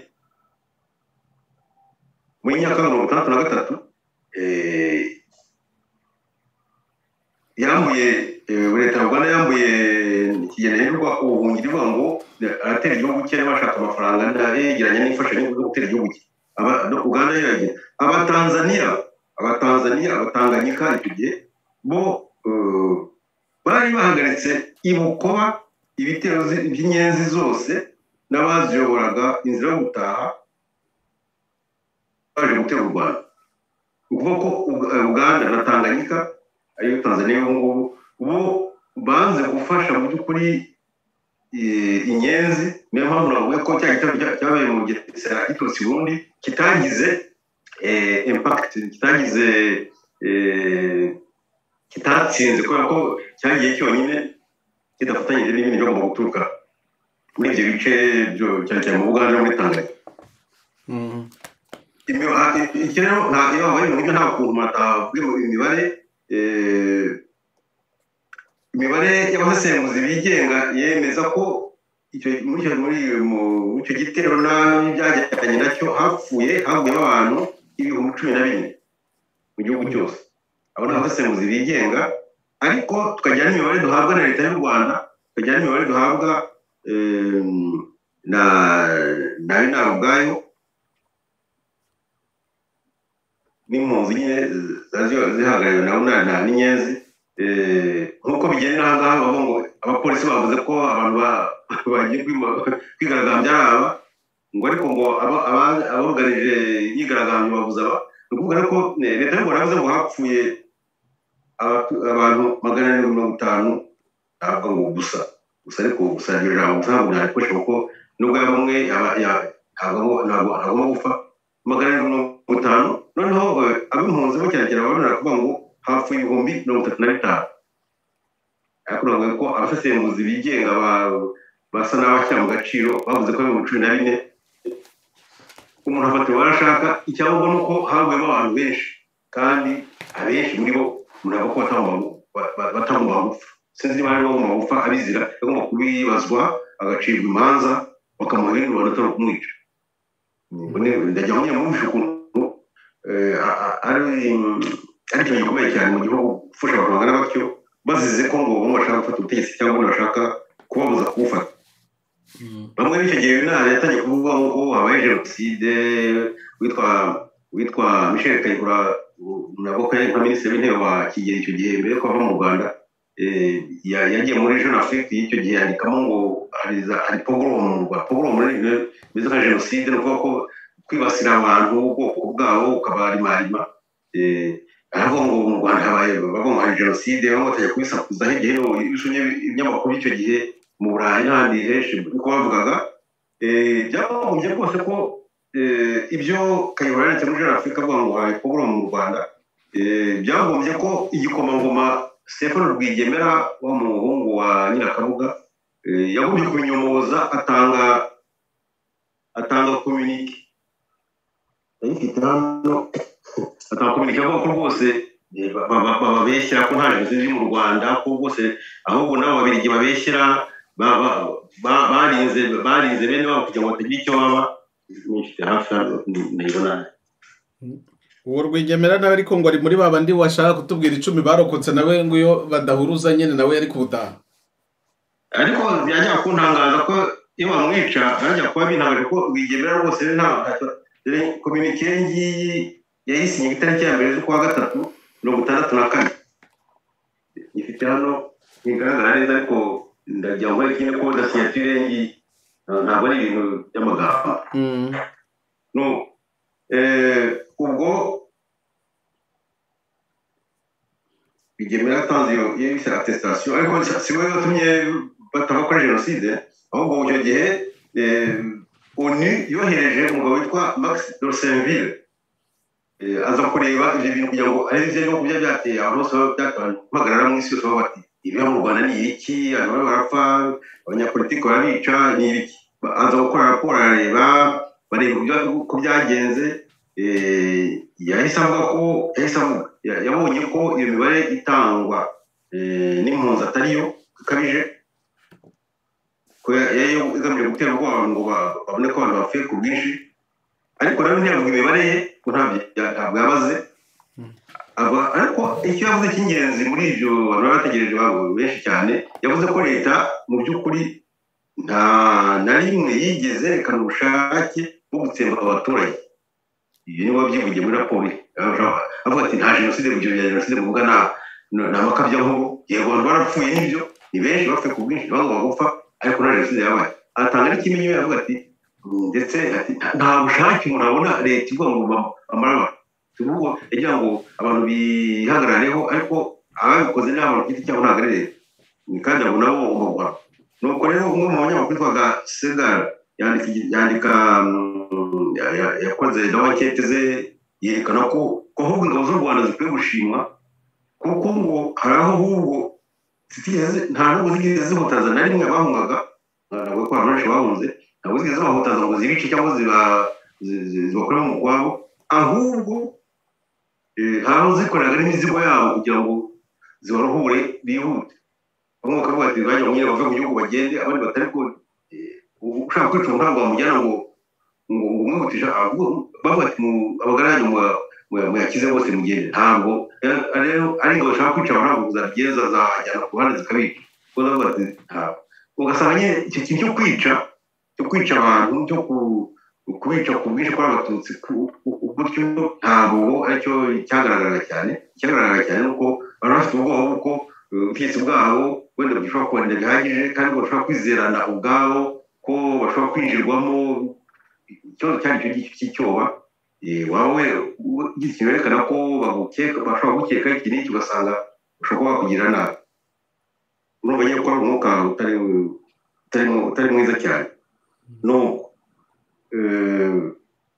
urumva nyine ko icyo kintu cyo kutica cyo kuticana cyo kutagira cyo kutagira nabi abaturage onu yabye- yabyemeje ihagarariwe n'abantu bari baje kubireba yerekana ko nta jenoside yabaye ko habaye ubwicanyi bufitanye isano n'intambara n'ibyo bitero bya inara ariko ko yego ko ari bibi ko bitagomba gushyigikirwa ariko ko nta jenoside kuko iyo bavuze jenoside ubundi bigira icyo bivuga ntabwo jenoside upfa kuyivuga gutyo gusa ugomba kugira amategeko ayemeza kandi n'imibare ni- n'impamvu zituma iba yitwa.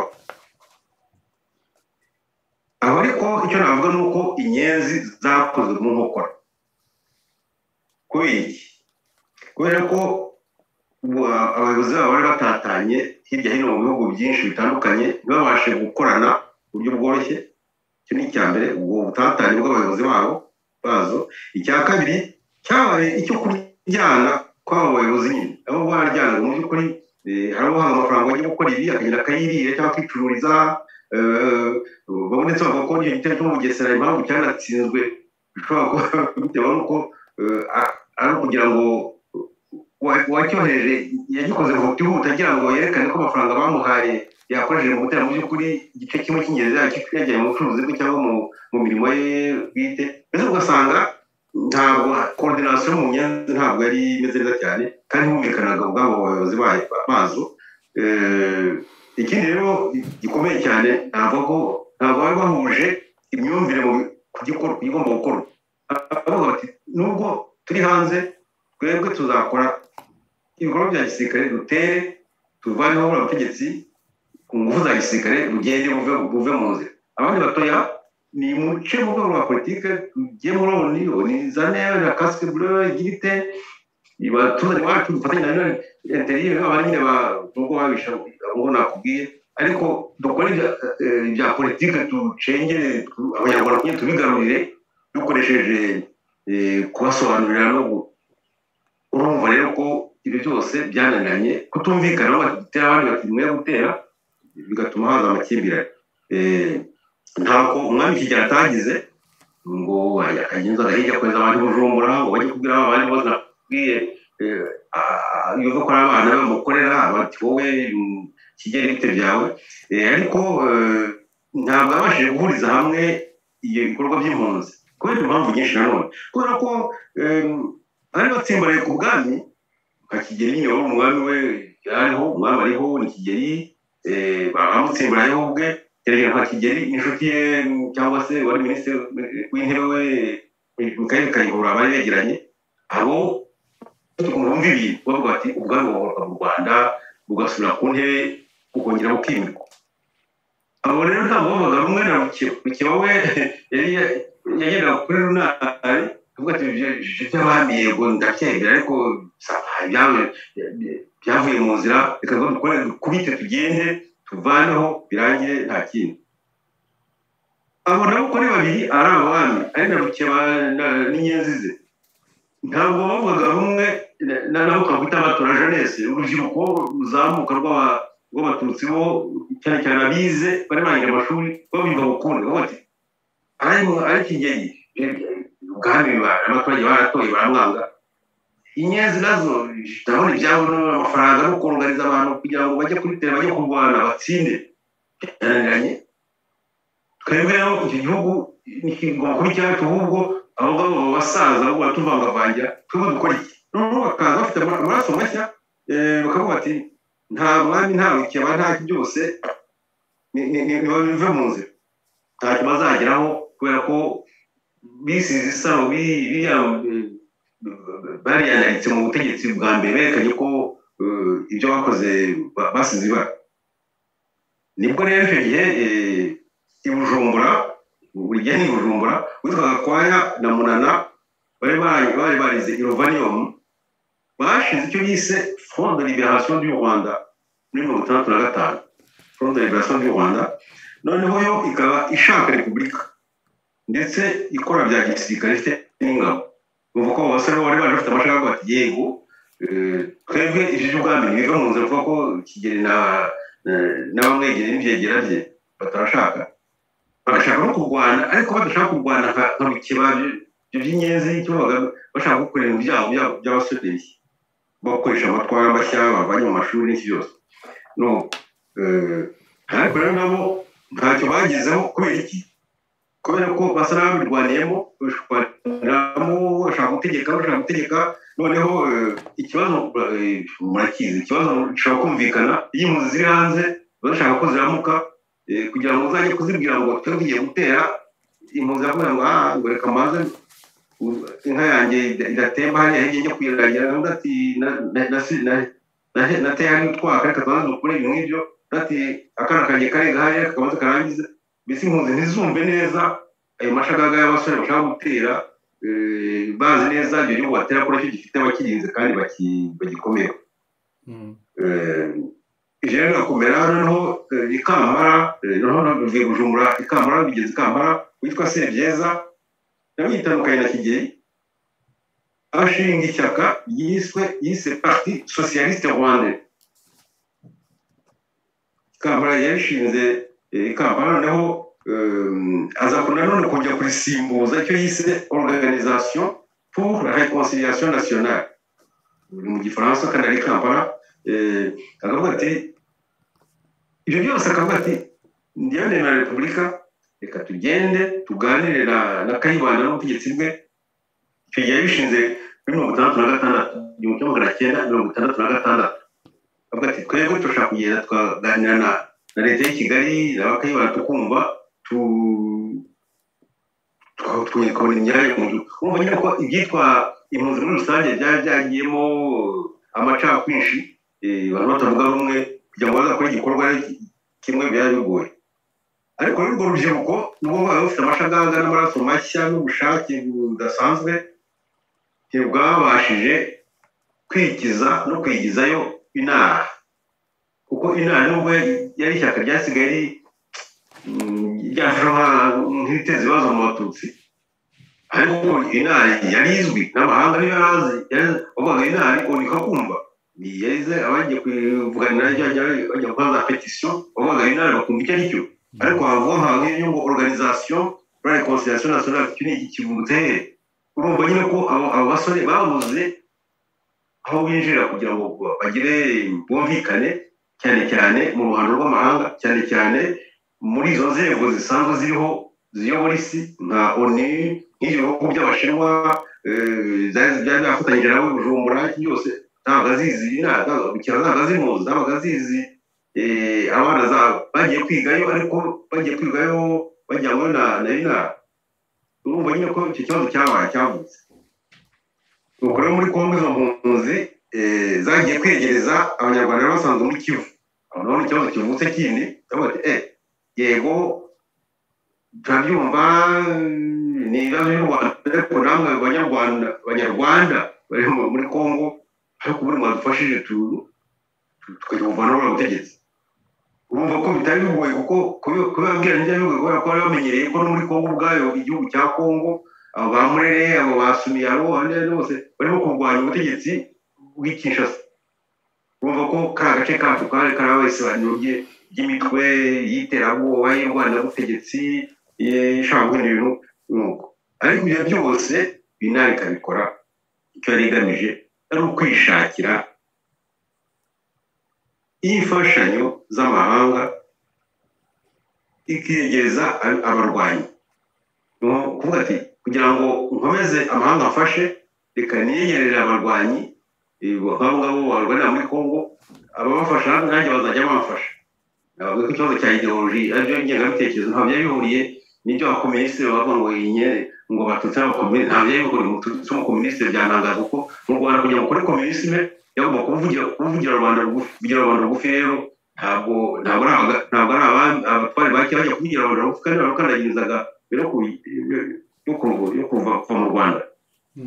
Biyegezaga rero abarwanyi ku buryo bagiye biyegereza eh, nk'abo batware nk'uko witwa katarebe katarebe eh,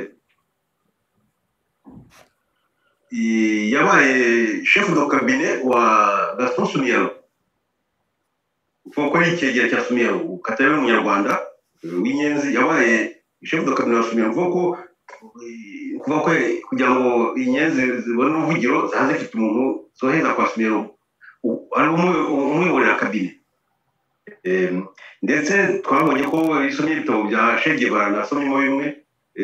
Shegevara ryaza gukorana na joseph De- Joseph desire kabira bakoranye n'abanyarwanda. Harimo abarwanyi magana atandatu. Ba koma- ba komanda mudandi. Komanda mudandi yari afite abasirikare magana atandatu. Bafatanyaga na- na- na bashegi barabagira bagiye kurwana za furubendera byose barwana barwanya ingabo za kongo kongo y'igihugu. Uretse ko bajyagamo bagatukana na- bagatukana n'abakongomani eh, shege barakavuga ngo ntibazi kumvikana. Mbese shege baravuye mu- muri kongo y'ubure bavuga ngo abanyafurika mu byabo byamunaniye buri wese ashaka kukura yishyira undi asuzugura mwene wabo undi ngo ibi n'ibi yahavuye yumiwe avuga ati kadazi gutegeka ariko ubanza atari cyo kurwanya byo ashyize imbere cyane ubanza yibereye mu bindi yibereye mu bucuruzi utuntu ku buryo iyo mirwanire bya ideoloji shenge barashaka kugira ngo afurika yibohoze ubwo bukoroni n'iki ibyo ngibyo yabonye abanyafurika atabyo bishakiraho kugira ngo barebe ukuntu bakonera utuntu n'iki yavuye yumiwe ariko akaba yabonye bamwe barwana nk'abo barwanyi magana atandatu ba mudandi bari bahari mudandi uwo nguwo yari muri apr yari apr yari yarakubwiraga yari burundi. Abarundi mbese bo bakayikoresha kugira ngo kubera ko kazablanka nakubwiye ibyo bya kazablanka by'abarundi bavuga ati yego ni abatutsi b'abanyarwanda bazi kurwana babyize kandi babishoboye. Turabona umunsi abahutu bacu burundi bashatse kudutera hejuru dushobora kuzabifashisha bakabadukubitira ubuzima babivuze ni uko muri mirongo itandatu na gatanu icyo ntavuze wenda ni uko abahutu b'i burundi bashatse gukora kudeta muri mirongo itandatu na gatanu bashatse gukora kudeta abapolisi baho kuko igipolisi cy'i burundi cyari gikuriwe n'abahutu nibo bari bakomeye. Imico atarafata ubutegetsi bari bakiriho ubwami bashatse gukora kudeta noneho bayiburizamo bayiburijemo kazablanka n'abatutsi ikoranabuhanga bijya gutyo ibi burundi baboneraho kwica icyitwa umunyapolitiki cyose i burundi. Wari ukomeye. Abanyapolitiki bose bakomeye b'abarundi b'abahutu barabafunze abandi barabica. Ibyo ntabwo navuga cyane byamenyekana mu mateka ariko abahutu b'i burundi bavuye mu nzira muri mirongo itandatu na gatanu aho bavuze ko bagiye gukora kudeta. Babibitira naho baraprofita ni naho umwaka ukurikiyeho micumbi yahise afata ubutegetsi noneho byose nubwo bamuvanaho byose arangiza rero abahutu bari bavuye mu nzira kubera ko bavuze ngo bashaka gukora kudeta naho baraprofita babavana mu nzira naho ukavuga ati rero umunsi abahutu abatutsi bumva ko bagizeho bati eh mu burundi bigiye kuba mu rwanda nabo bashaka kuvanaho abatutsi nk'abayobozi ati rero ba mudandi abo ba pr b'abanyarwanda ntimwirukane mu bagusha aho ngaho bashobora kudufasha byakomeye bakadukubitira mu burundi. Ku buryo ndetse bamwe mu ngabo bamwe mu nyenzi bagiye mu ngabo z'i burundi wenda bahinduye amazina cyangwa se bagiye bagira bate bamwe babona n'imidari y'ishimwe ibitabo bisobanura nko twase bititaweho ari komanda bamuhaye medali de mérite ni ukuvuga ko ari ibintu bizwi bagiye bahinaho amazina cyangwa se bakiyoberanya bakabagira bakabashyira mu ngabo z'i burundi kugira ngo bakorane sinzi kugira ngo mwumve ukuntu icyo biti inyenzi cyari ikintu gifite amashami akomeye hirya no hino gishaka no kugaba kugira ibirindiro muri congo ibirindiro mu burundi mwumvise ko nubwo batabaga n'ubundi igihe abasore babo bugande n'iki bashaka gukora amashyaka cyangwa se amahuriro yatuma ibintu bihinduka bitwara izo mpunzi ubwo rero ikindi nakubwira ni uko bikomeze birangize ntabwo ni kure sinzi igisigaye ko kingana ariko mbwire ntaza gukomeza kurondogora oya twari tugiye kuruhuka gato ngo twumve akaririmbo hanyuma tugaruke tugere ku. Mwanzuro wabyo noneho tubwire n'uko kayibanda nyine yabyitwayemo cyane cyane uretse ko twatangiye kubyumva ubwo twatangiye byumvikanye byumvikanye. Reka rero niba hari ikintu navuga mbere yo gushyiramo akaririmbo. Impamvu nkavuga mbere yo gushyiramo indirimbo ni uko impamvu abakongomani bafashaga cyane inyenzi za binari ntabwo nyine ya ya kayibanda yo gukorana n'abanyamerika na rezo occidental kugira ngo batsinsure abakorana n'abakomunisite b'abashinwa cyane cyane kuko bari bakomeye i bujumbura yari yaremereye abasirikare ba combe muri combe yari yakoze sesesiyo ishobora gufata katanga. Yaremeye ko kamembe bayikoresha ikajya ibarwanyiriza mbese bayikoresha kugira ngo bafashe combe urumva rero ko bavuze bati eee kayibanda noneho yagiye yagiye yagiye gufasha yagiye gufasha combe ukuvuga ko u rwanda ru- ru- rufitanye imibano n'abantu bashaka gusenya kongo mukabika gusenya kongo. Bakavuga ati reka naho tumurwanye natwe. Nta kibazo. Ariko ni cyo kubera ko nyine kamembe na bukavu na ka gace ka kivu y'ama- y'amajyepfo byari byegeranye. Ni ukuvuga ko abanyamerika bari bafite ijisho kuri izo kuri ako karere ku buryo abakongomani bagomba guhungira ubundi kugira ngo babone bumve bafite umunezero bafite ubwisanzure kurusha uko bimeze mu rwanda byari bimeze muri muri kongo nuko rero eh, icyo umuntu yavuga ni uko reka wenda nanjye ntabwo kuko birakomeye cyane Eh, eh, icyo gihe navuga ko nyina n'uwabo kazaburanka yamuvanyeho eh, imuvanyeho ye baje no kumwica. Urupfu rwa Ngayirama yishwe arashwe ariko uwamurashe ni umunyarwanda witwa muyenzi wakoraga muri ambasade y'abanyamerika. Eh, yari umuhutu ukunzwe cyane eh, noneho bamurashe abanyamerika ngo bihu- bihutira kubyerekana ko eh, ngo ari umuntu ngo abanyarwanda bagira ngo mbese ba- basebye ni ibintu bikomeye cyane bagira ngo ngo wasebye eh, impuzu z'abanyarwanda ko zikorana n'abakomunisiti byose ariko mu by'ukuri wumva ko wo gukorera muri ambasade y'abanyamerika. Bati igituma ko atari mwamutoje ni ariko ukaba uri mbere mu bivuze ni icyo byatanze muri politiki ni uko eh, berekanye ko beretse umwami mwambutsa wari waremeye ko abashinwa bamaho akanda gasubiramo gasobanura neza kugira ngo twumvikane. Wari wemeye ko abashinwa bamaho bajya mu gihugu cy'uburundi bagakoreramo. Abanyamerika ntabwo batari baragize bagera mu madini ye baramubwira bati wowe dore uri umwami.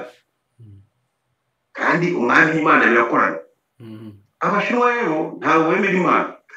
Batega gutemera imana ashobora kwemera umwami. Eh, ba- bakamuboheza abanyamadini bakajya bateye bati rwose ati buriya gufatanya n'abashinwa eh, batemera imana w'umwami uganje kandi akiza gafata none akiza agatwe ko mu burundi ariko avuga ariko ubundi mwami mu biki?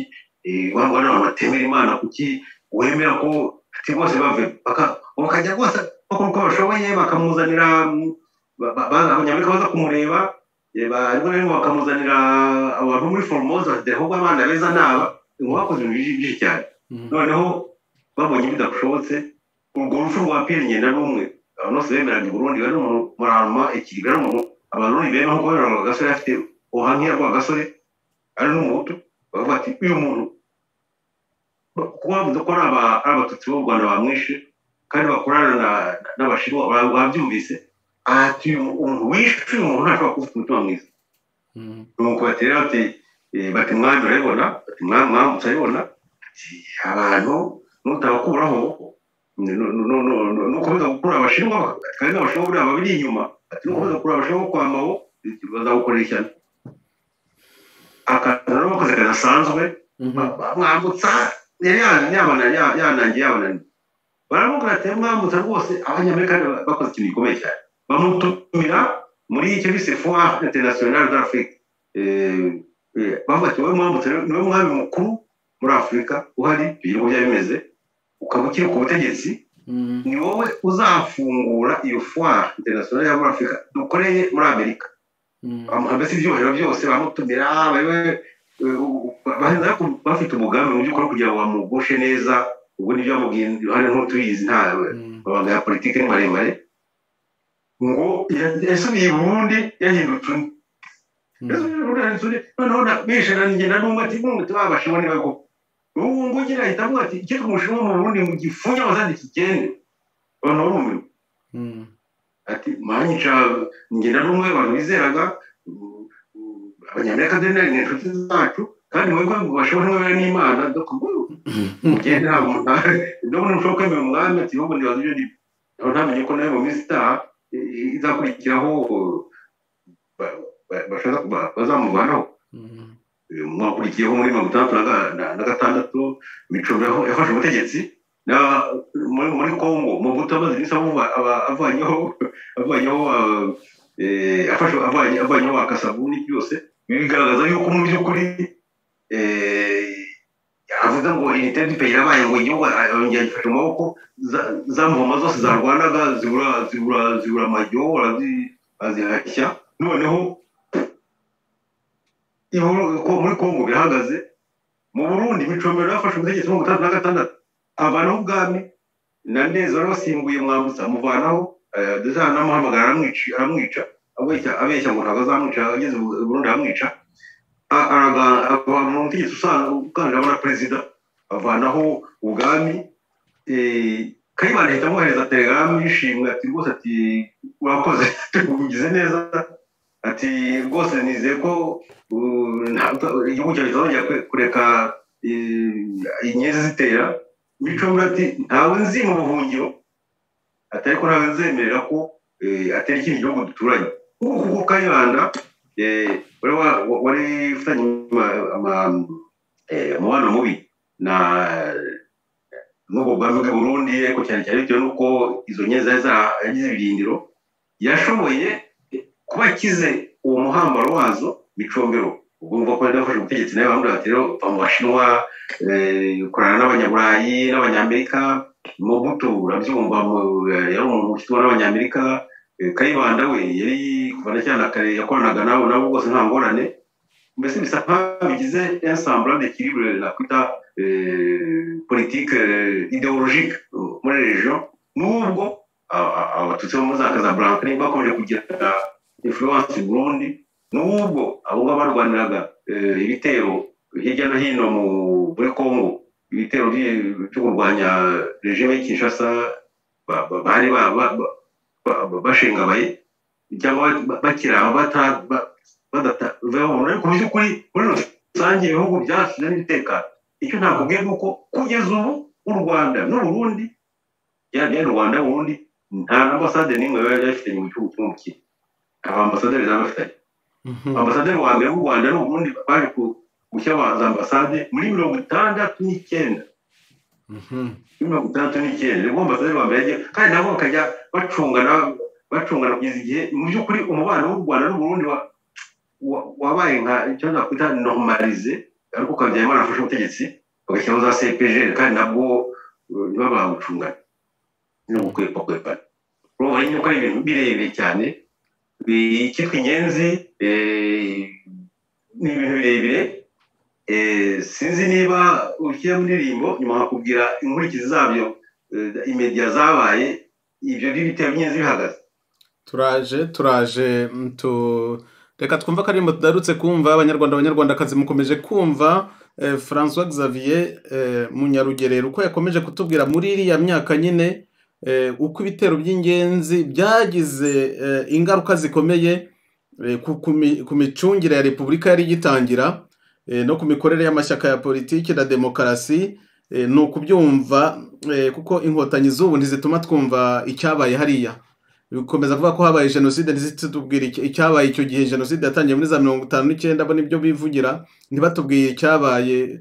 Eh, ubu rero iyo iriya kibazo cy'inyenzi eh, twatangiye kurushaho kucyumva. Padiri fortunatus yari yabituganirijeho nawe ariko munyarugerero arongera abigarutseho mu kanya aratubwira rero ingaruka zabyo Eh, ndetse twabiganiye no muri bya biganiro bya nshushanyiriza u rwanda rw'ejo nifuza aho eh, umumajoro watuganiriza ku byerekeye ubusugire bw'igihugu n'umutekano wacyo eh, yatubwiye nyine ko ari ikintu cy'ingenzi gucunga umutekano w'igihugu gucunga ubusugire bw'igihugu kuko igihugu gitewe kitarinzwe bihagije. Abaturage bahabonera ingorane. Mu kanya bamaze kutubwira bapfuye kuri kiriya gitero cyo mu bugesera eh, imibare eh, n'uwafata umukeya ushoboka leta y'u rwanda yavuze magana arindwi na mirongo itanu abantu magana arindwi na mirongo itanu bapfuye gutyo bazira ubusa ni abantu benshi cyane. Ugiye kuri babandi bigenga bavuga ibihumbi cumi na bitanu runari yivuga ibihumbi mirongo itatu na bingahe ibyo ari byo byose. Hera no kuri abo magana arindwi na mirongo itanu gusa kandi ubwo nyine leta yavuze bakeya na byo umuntu yabimenya yavuze abo yashoboye kubarura hari n'abatarabaruwe hari n'abataramenyekanye Eh, ababa baravu- barapfuye bose ni benshi cyane ni benshi abantu magana arindwi ni benshi cyane batagombaga gupfa. Kubera ibyo bitero by'izo nkenya zitwa inyenzi. Izo nyenzi rero zizakomeza kurwana nyine ntabwo zizahagararira aho ngaho nubwo byahagaze bagiye kutubwira itariki byahagarariyeho eh, ariko zaragiye zirisuganya ni na zo zagarutse zirabyivugira ubu ngubu. Eh, mu kanya hari uwahoze unyoherereza eh, agatabo agatabo mm, kanditswe n'umuntu nyine nawe wabaye inyenzi kabuhariwe. Eh, uwo nguwo eh, wanditse agatabo ku, mateka y'inyenzi avuga amoko y'inyenzi avuga ibitero uko byari bimeze. Eh, kandi ndaza kumabwira mu kanya gatoya ndaza kubasomera gatoya kuri ako gatabo eh, kubera ko birahura n'ibyo eh, François Xavier ari kutubwira. Ariko mwiyumvire ntabwo ari byo François yahimbye ntabwo ari ibivugwa ntabwo ari ibivugwa na- na- na- n'abahutu ubu ngubu ahubwo ababaye inyenzi ni nabo babyivugira. Ni nabo bivugira mu moko y'izo nyenzi uko zabayeho bamwe baracanabyigamba nyine cyane kuko nyine bari ku butegetsi barigamba uko babigenje eh, bashaka ko bifatwa nk'ubutwari eh, ariko abantu nyine barahashiriye. Eh, mu kanya tumaze kubona iriya lisite y'abari abanyacyubahiro bari batubwiye muri cya gihe cy'amashyaka abo bandazaro abo babwanakweri twa- twageraga hano tukaberwa iyo barengeye. Se abo bantu ntabwo tuba tuzi ko baba barasaguriye mu ruhengeri bose bose bazira ibitero by'inyenzi. Ubwo biraza kugaruka byanze bikunze mu ngaruka mu kanya. Reka twumve umwana w'umusore utubwira ngo tubohoke tuvuge burya kuvuga koko ni byiza cyane cyane tuvuga amateka yacu. Eh, ntidusubiremo ibyo fpr ishaka kudusubirishamo no kudufatisha mu mutwe bidahuye n'amateka yacu. Iriya paje y'amateka y'inyenzi y'ibikotero by'inyenzi ni ikintu cyagize ingaruka zikomeye kuri politiki yo ku rwanda n'imyumvire y'abanyarwanda. Eh, turaje tubiganireho.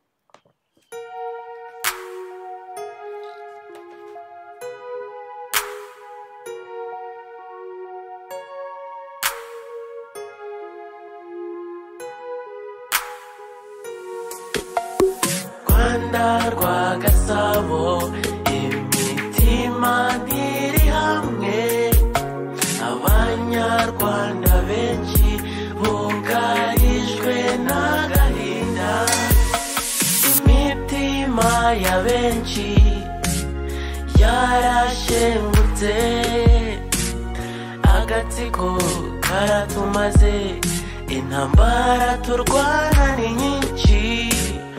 Amateka ntabwo yavuzwe nk'uko yagenze. Wiyandikiye amateka. Wiyita umutabazi. Reka abandi bakuvuge. Imitima imenetse ibohoke. Fpr wakoze amahano.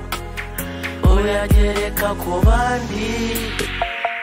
Ubugome waje ufite inzangano waje ubiba wabivanye imahanga kanyarwanda uratsembatsemba we. Tubohoke tuvuge banyarwanda tuvuge tuvuge amateka y'ukuri. Fpr yaje kurimbura tubohoke tuvuge. Banyarwanda tuvuge. Tuvuge amateka y'ukuri. Fpr yaje kuri. Mbere y'uko umunyarugendo akomeza ndakomeza kubashishikariza ndakomeza kubashishikariza kumenya bya bitabo bye bya bitabo bye yanditse. Iba ari kuvuga ntabwo ari ukubivuga gusa yabikozeho ubushakashatsi aranabyandika cya gitabo nkunda cyane nakomeje kubabwira cyitwa rezo pouvoir rezo pouvoir opposition la competition politique au rwanda. Eh, iki gitabo rwose kiracyari ingenzi cyane utarakibona azambwire mugeze kuri munyarugero amubwire uko yakibona. Igitabo cyiza ngewe nakiguriye kuri interineti mbona kingezeho igitabo cyiza cyane igitabo kiryoshye kirimo ibi byose. Hanyuma ndakibereka n'ikindi. Dominique mbonye umutwa president du rwanda en revolution na cyo ni we wacyanditse iki gitabo na cyo kikaba ari igitabo kiryoshye cyane cy'ingenzi cyane. Igitabo ki- ki- ki- ki- Mm. abantu bari bamenyereye wenda kuvuga abaperezida bamaze igihe kirekire we yamaze amezi angahe gusa. Ariko akamaro yagiriye u rwanda eh, munyarugerero akavuga muri iki gitabo nyabune nyabune eh, ibi bitabo kubisoma kubigura kubisoma kubigura byo biteza n'imbereho gatoya eh, wa- wabyanditse kuko ntabyandika ngo abibike mu kabati gusa bayatanze n'amafaranga yo kubyishyura. Iki cya dominique mbonye umutwe akigura amayero makumyabiri n'arindwi byanditseho niko mm, liborori yacyandikishijemo yabigennye iki kindi kigura amayero makumyabiri n'umunani n'amasantime mirongo itanu na byo byanditseho niko liborori yabigennye ntabwo ari amafaranga menshi ugereranije n'ubwenge buri muri ibi bitabo n'ubumenyi buri muri ibi bitabo. Bitabo byiza cyane abanyapolitiki by'umwihariko by'umwihariko abanyapolitiki b'u rwanda ibi bitabo eh, dukwiye kubisoma tuka- tukabisomera kubyumva no kumva ibirimo. Haba hari aho ushaka gucaranjinga munyarugerero ukamuhamagara mukaganira mukabyumvikanaho cyakora bikoze neza byanditse neza. Mukajya nari undi muntu wanditse kuri iki kibazo cy'izi nyenzi eh, mbonye ari igitabo cyanditswe n'uwitwa Antoine Mugesera muramuzi cyane ngewe ndamwibuka ndamwibuka. Hari ahantu nzabivuga ubutaha ni ahantu nyuma mirongo icyenda na kane baje mu Nyakibanda baje kwibuka twebwe turi muri serivisi ariko bari bahadutse nzi ni bwo nabonye umuntu w'umugabo ugira amahane kabisa. Ugira amahane uvuga turavuga ahantu turahagwa mwuka byaramo. Eh, eh, afite uko yabivuze. Noneho yanditse rero ngo imibereho y'abatutsi kuri repubulika ya mbere n'iya kabiri guhera muri mirongo itanu n'icyenda kugera muri mirongo cyenda eh, muri edisiyo rwandeze cyasohotse muri mu kwa gatatu muri ibihumbi bibiri na kane. Aha rero mu gice cya gatatu cy'iki gitabo hari igice cya gatatu cyitwa ngo inyenzi z'u rwanda zo muri mirongo itandatu na rimwe kugera muri mirongo irindwi. Akavuga rero ko izo nyenzi zaremwe amoko atatu.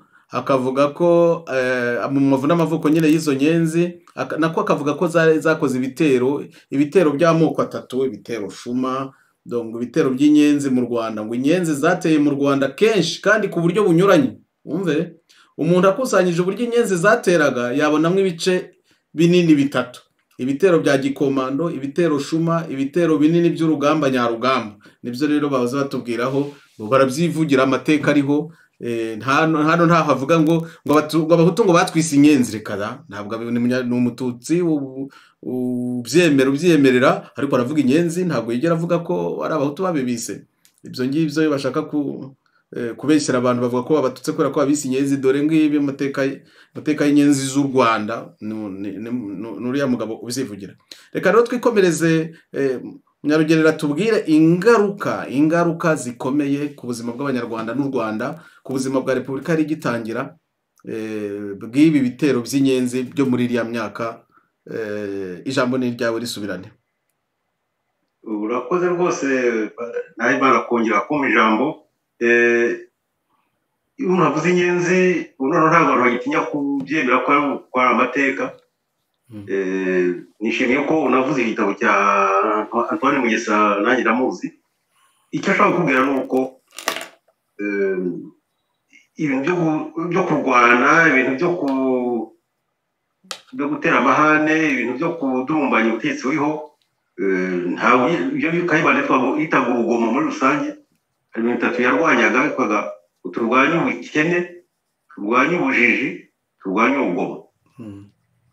Ubukene birumvikana umuntu atariye cyangwa adatunze bihagije ahorana mururumba ahorana na- nu- n'urwango ku mutima ubujiji. Iyo utazi nta- ubuzi nyine nta n'icyo uri cyo. Eh, eh, urugomo rero ni ikintu kibi cyane. Urugomo ni ukuvuga ko iyo abantu eh, bahora bahohotera abandi urugomo ni uguhohotera abandi ku busa Mm. Eh, iyo abantu rero ba- babifashe bikaba ubu- uburyo bwo kubaho no kuyobora usanga urugomo rero ni ikintu kibi cyane kuko gituma eh, abantu bacika intege n'ugira icyo akora cyiza ntikigaragare agahora ahohoterwa agahora yibaza niba atagomba nawe guhora ari maso ari menge eh, atigiye mu byo kwirwanaho kugira ngo eh, arebe icyamuteza imbere mu bumenyi nyine butuma ava mu bujiji no mu mutungo kugira ngo abone uko amererwa neza Mhm. ikintu cya mbere mbona mu- mu- gihugu ni ukubanza gukuraho urugomo gukuraho urugomo rero utabishoboye ujya umenya ko ntawe ushobora kugera kuko umutekano ni wo wa mbere mu gihugu iyo rero abantu bashyize imbere guhungabanya umutekano w'abandi ni ko abantu bagomba gufata ingamba zikomeza kugira ngo ubabuze ab- ubabuze kugera kuri iyo ntego. Ni ho rero eh, njya nsoma ibitabo byinshi hirya hino by'abantu bavuga bavuga ngo ngo ngo icyitwa abahutu ngo ni abantu batamenya ngo ntibakunda kurwana ntibakunda kurwana ngo ni abantu b'abanyamahoro ngo arihingira akikorera akazi ke neza kubaha akagenda akiryamira akanywa inzoga niba ayifite akamererwa neza akagenda ibindi ntabyitaho Mhm. Bishobora kuba bifite impamvu zabyo sinzi niba ari ukuri kuko ibyo umuntu atangiye kubona ngo umuntu nuko ameze ameze kuriya igihe umuntu ajya bita mu gifaransa stereotype ni ukuvuga ngo ahantu hamwe ngo baremewe gutegeka abandi baremewe gutegekwa abandi baremewe kubabyinira. Mm. Eh, mu rwanda murabizi ko ariko bimeze. Eh, ngo bamwe bagakora abandi baka- ba- bakamenyera kurya no kurya neza mu cyubahiro abandi bakamenya ku- kubabyinira ko barimo bazi kurya. Icyo bintu eh, nta gasuzuguro karenze ako ngako mu buzima bw'abantu. abantu buri muntu wese akeneye ku- ku- kurya no kunywa akeneye ku- ku- kumva amerewe neza akabyina akaririmba arabishaka kandi amenye- a- a- akunda no gukora Mm. kugira ngo ubwenge azi ubushobozi afite abubyaze n'umusaruro yewe hari ikintu cyantangaje nsoma cyane cyane mu byerekeranye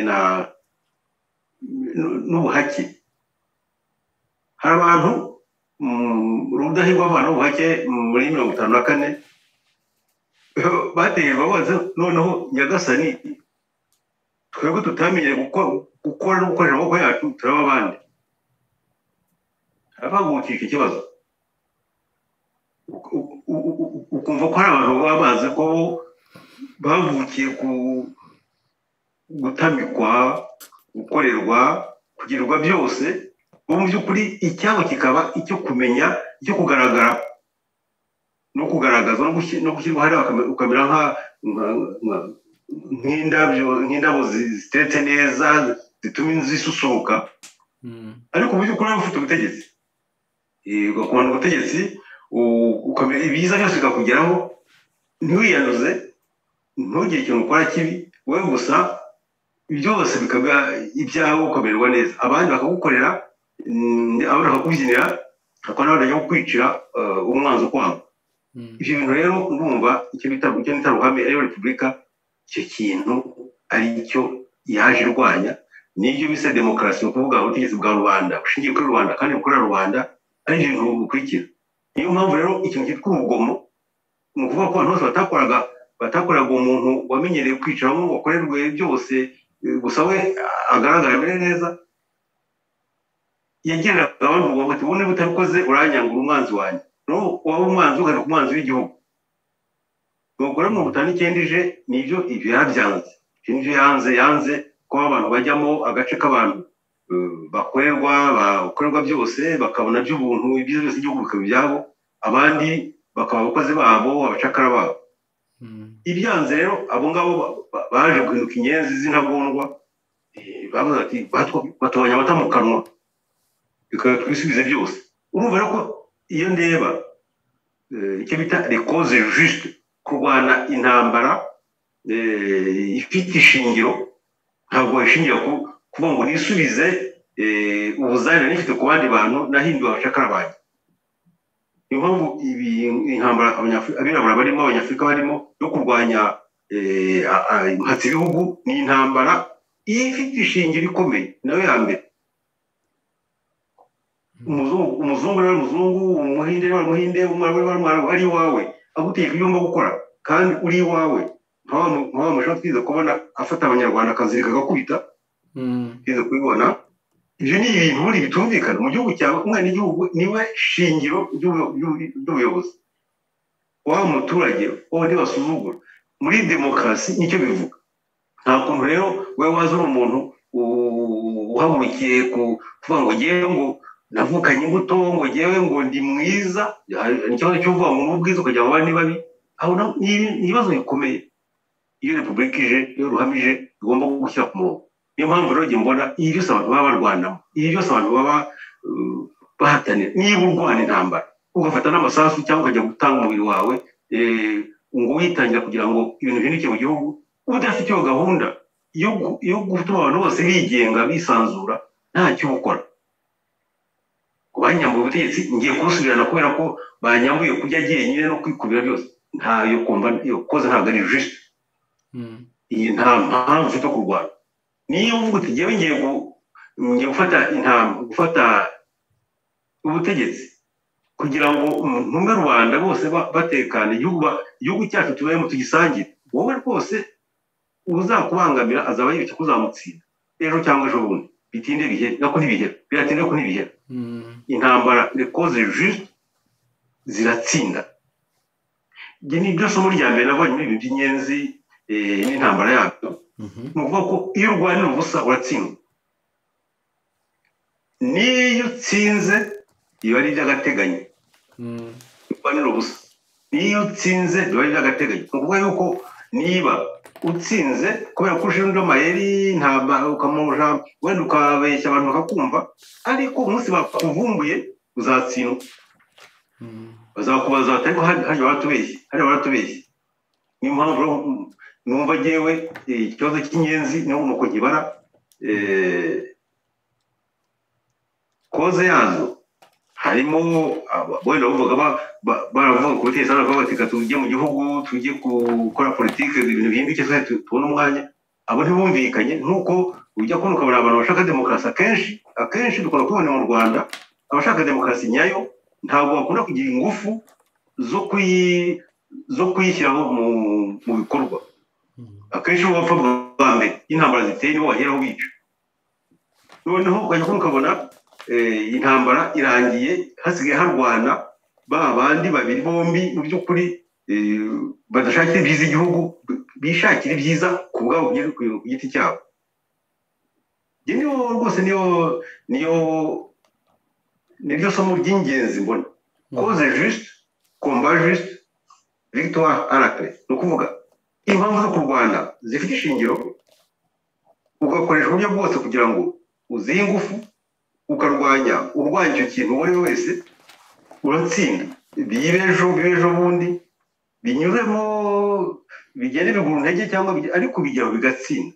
Ikibazo gihari ni uko bishobora hari intambara zibana imyaka ijana. Njya mbyibutsa. Intambara ishobora kubana imyaka ijana. Wowe wayitangije ntube witsinda ikazatsindwa eh, ikazatsindwa n'abana bawe cyangwa abuzukuru bawe. Ariko iyo ntambara iyo ari koze juste ndagisubiramo cyane la koze juste kandi koze juste mu mibereho y'ibihugu ni uko abantu bose bari mu gihugu bakisangamo bakakibonamo ijambo bakumva bafite umwanya muri icyo gihugu. Eh, ntabwo koze juste avuga ngo ngewe bangize perezida no. Ntabwo ari koze juste cyangwa wangize umwami. Oya. Ibi ntabwo ari koze koze juste ukuvuga ngo abaturage bahawe umwanya barisanzuye bafite uruhare mu bibareba no mu y'igihugu cyabo ibyo rero ndabivuze kugira ngo mvane amazimwe mu nzira. Mbereke ko izo nyenzi zimaze gutsindwa mumva nyine ko bishe abantu bagira bate babona ko ntacyo bigira. Umukuru wazo witwa rukeba. Rukeba francisco yanditse ibaruwa yise ngo lettre secrète iba mu ibanga ku itariki ya makumyabiri na kane z'ukwa cumi n'abiri mirongo itandatu na karindwi. Ndayishyira imbere hano kugira ngo murebe bisomeka ayandikira umugabo witwa monsieur juvenal habyarimana commandant suprême des forces armées de la république rwandaise à kigali. Francois bikeba utagira ngo nibyo wenda ndimo guhimba dore ni- urupapuro rwa nyuma ngiyi iyo bikeba yayisinyanye n'umugabo witwa eh, secrétaire d'ordre witwa ngo gafandi rafael signature ko ni iya bikeba francisco amwandikira iki rero ni ibaruwa ndende y'amapaje icyenda amubwira ngo ni we wenyine mu rwanda muzima uhari tubanaho kayibanda. Ndavuga amagambo make kuko amapaje. Ati ni we mu rwanda tubona muzima turakuzi twagucunze turakureba. Ni we muzima tubanaho kayibanda kuko impunzi zose ziramwanga ati tuzagufasha ati uzaza urya akara gusa. Atora ry'akara tuzagufasha tuzaza niba ngombwa abaza- azashaka gukuma mu nkokora tuzagufasha kubarwanya. Ati njyewe bikeba na- nabanje gukorana n'abatutsi gukorana na na- buriya bwami kurangi nabo sifu yabivuga rwose ati njye njye ushobora kumva et pour prouver mon attachement aux intérêts populaires j'ai définitivement divorcé avec tous ceux qui commandaient avant les événements de 59 na- na- na- na- nacanye ukubiri na- na- na- naciye ukubiri n'abatekaga bose mbere y'ibyabaye muri mirongo itanu n'icyenda parce qu'ils ont prouvé qu'ils ne travaillaient pas pour les intérêts du peuple. Kuko berekanye ko batakoreraga inyungu za rubanda ubu ni byandika Euh, depuis longtemps je connaissais que ces anciennes autorités indigènes travaillaient de connivence avec les belges au détriment du peuple rwanda ati kuva kera nari nzi ko abategetsi bose ba gakondo bakora- ba- bakoranaga bafitanye isi bakorana n'ababirigi bat- batsinda ba- ba- bakinagaza abanyarwanda. Cela est d'autant plus évident qu'ils ne m'ont pas aidé dans ma lutte depuis 1944 pour le bien du peuple. Ni rukeba ngo ngo ngo ibyo rwose biragaragara cyane ngo ntibigeze bamufasha ni ruke buvuga ngo ntibigeze bamufasha ngo mu nkundura yarwanaga guhera igihumbi kimwe magana cyenda mirongo ine na kane iyo nkundura ntabwo nyibuka ntabwo nyizi iyo nkundura mirongo ine na kane ngo akorera rubanda iyo nkundura rero twa- twayireba ngo ngo ils sont réfugiés derrière la protection coloniale et comme j'espère quand nous reviendrons au Rwanda je ne voudrais pas qu'ils reviennent avec les la prétention de reprendre le pouvoir. Ati bihishaga inyuma eh, yuko bakingiye ikibazo n'umukoloni eh, ngo nk'uko nizeye ko batazagaruka nk'uko nizeye ni urukeye bavuga nk'uko nizeye ko batazigera bagaruka mu rwanda. Eh, ba- ba- ah, oya, nk'uko nizeye ko tuzagaruka mu rwanda ubu ni ikintu rukeye bivuga je ne voudrais pas qu'ils reviennent avec la prétention de reprendre le pouvoir. Ntabwo byanshimisha abo ngabo ni ukuvuga ba kigeri kayihura inshuti zabo zose ko bagaruka baje gufata ubutegetsi ubwo nibo byivugiraga rukeba c'est ainsi qu'en connaissant que le régime monarchiste est sans recours, j'ai définitivement rompu avec l'ancien mwami Kigeli. ngo rero ngo umaze kubona ko. Ubwo butegetsi bwa cyami nta ntacyo busigaranye nta shingiro bugifite ati naciye kubiri burundu na wa mwami wa kera witwaga Kigeli. Ibyo ariko ushobora kwifata uko ushaka kuba watera inama y'ishya mugeni agira ngo habyaye ati humura rwose ndi umuntu wawe ni cyo uzagufasha n'iki byose. Mu by'ukuri aramubaza iki rero? Aravuga ngo les banyarwanda vivant l'étranger le chagrin causé par leur exil. Abanyarwanda baba hanze ntavuze ntavuze abagiye muri mirongo itanu n'icyenda gusa. Abanyarwanda bose baba hanze. Ngo baba ba- bashavujwe nuko ba- ba- ba- bataba mu gihugu cyabo. Ceux qui sont au Rwanda aussi à cause de leurs parents ou parentés qui ne peuvent jamais leur rendre visite. Atari ko n'abari mu rwanda nabo ntibashobora kujya kubasura. Ati nabo bira- nabo bafite agahinda. Ati dodo quand il y a une liaison psychologique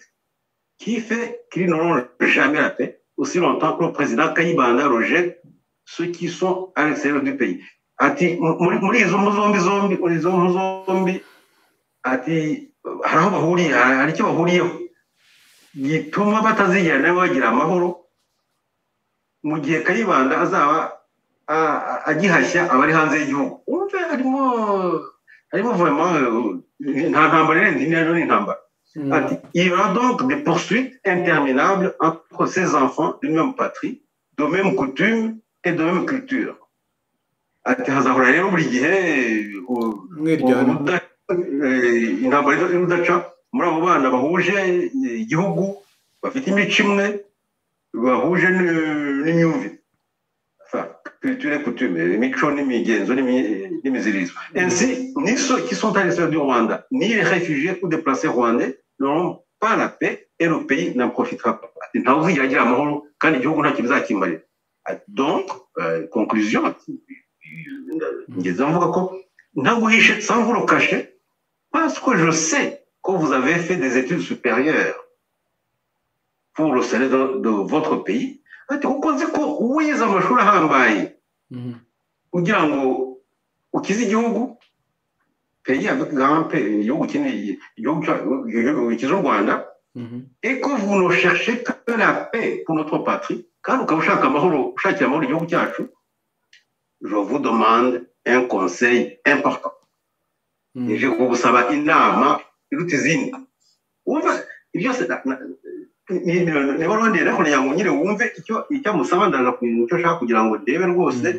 eh, eh, Eh,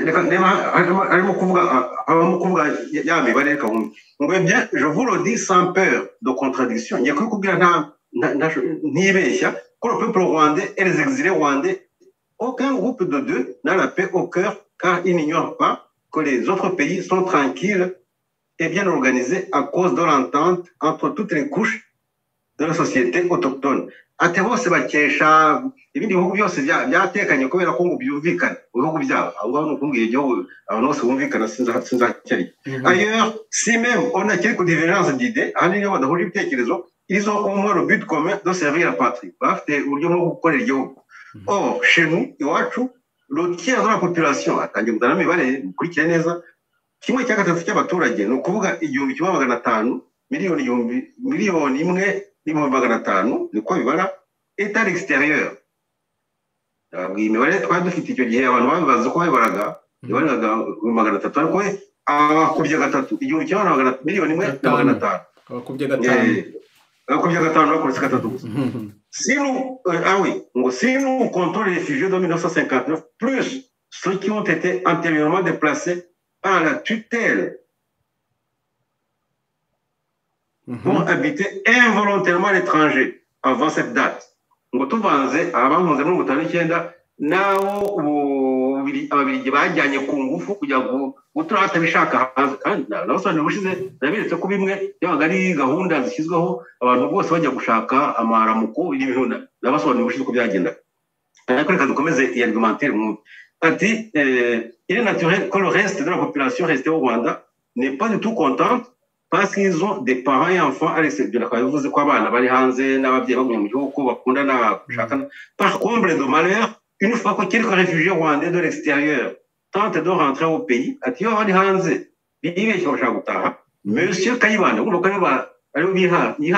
monsieur kayibanda massacre hein, ceux qui sont restés et soumis à son gouvernement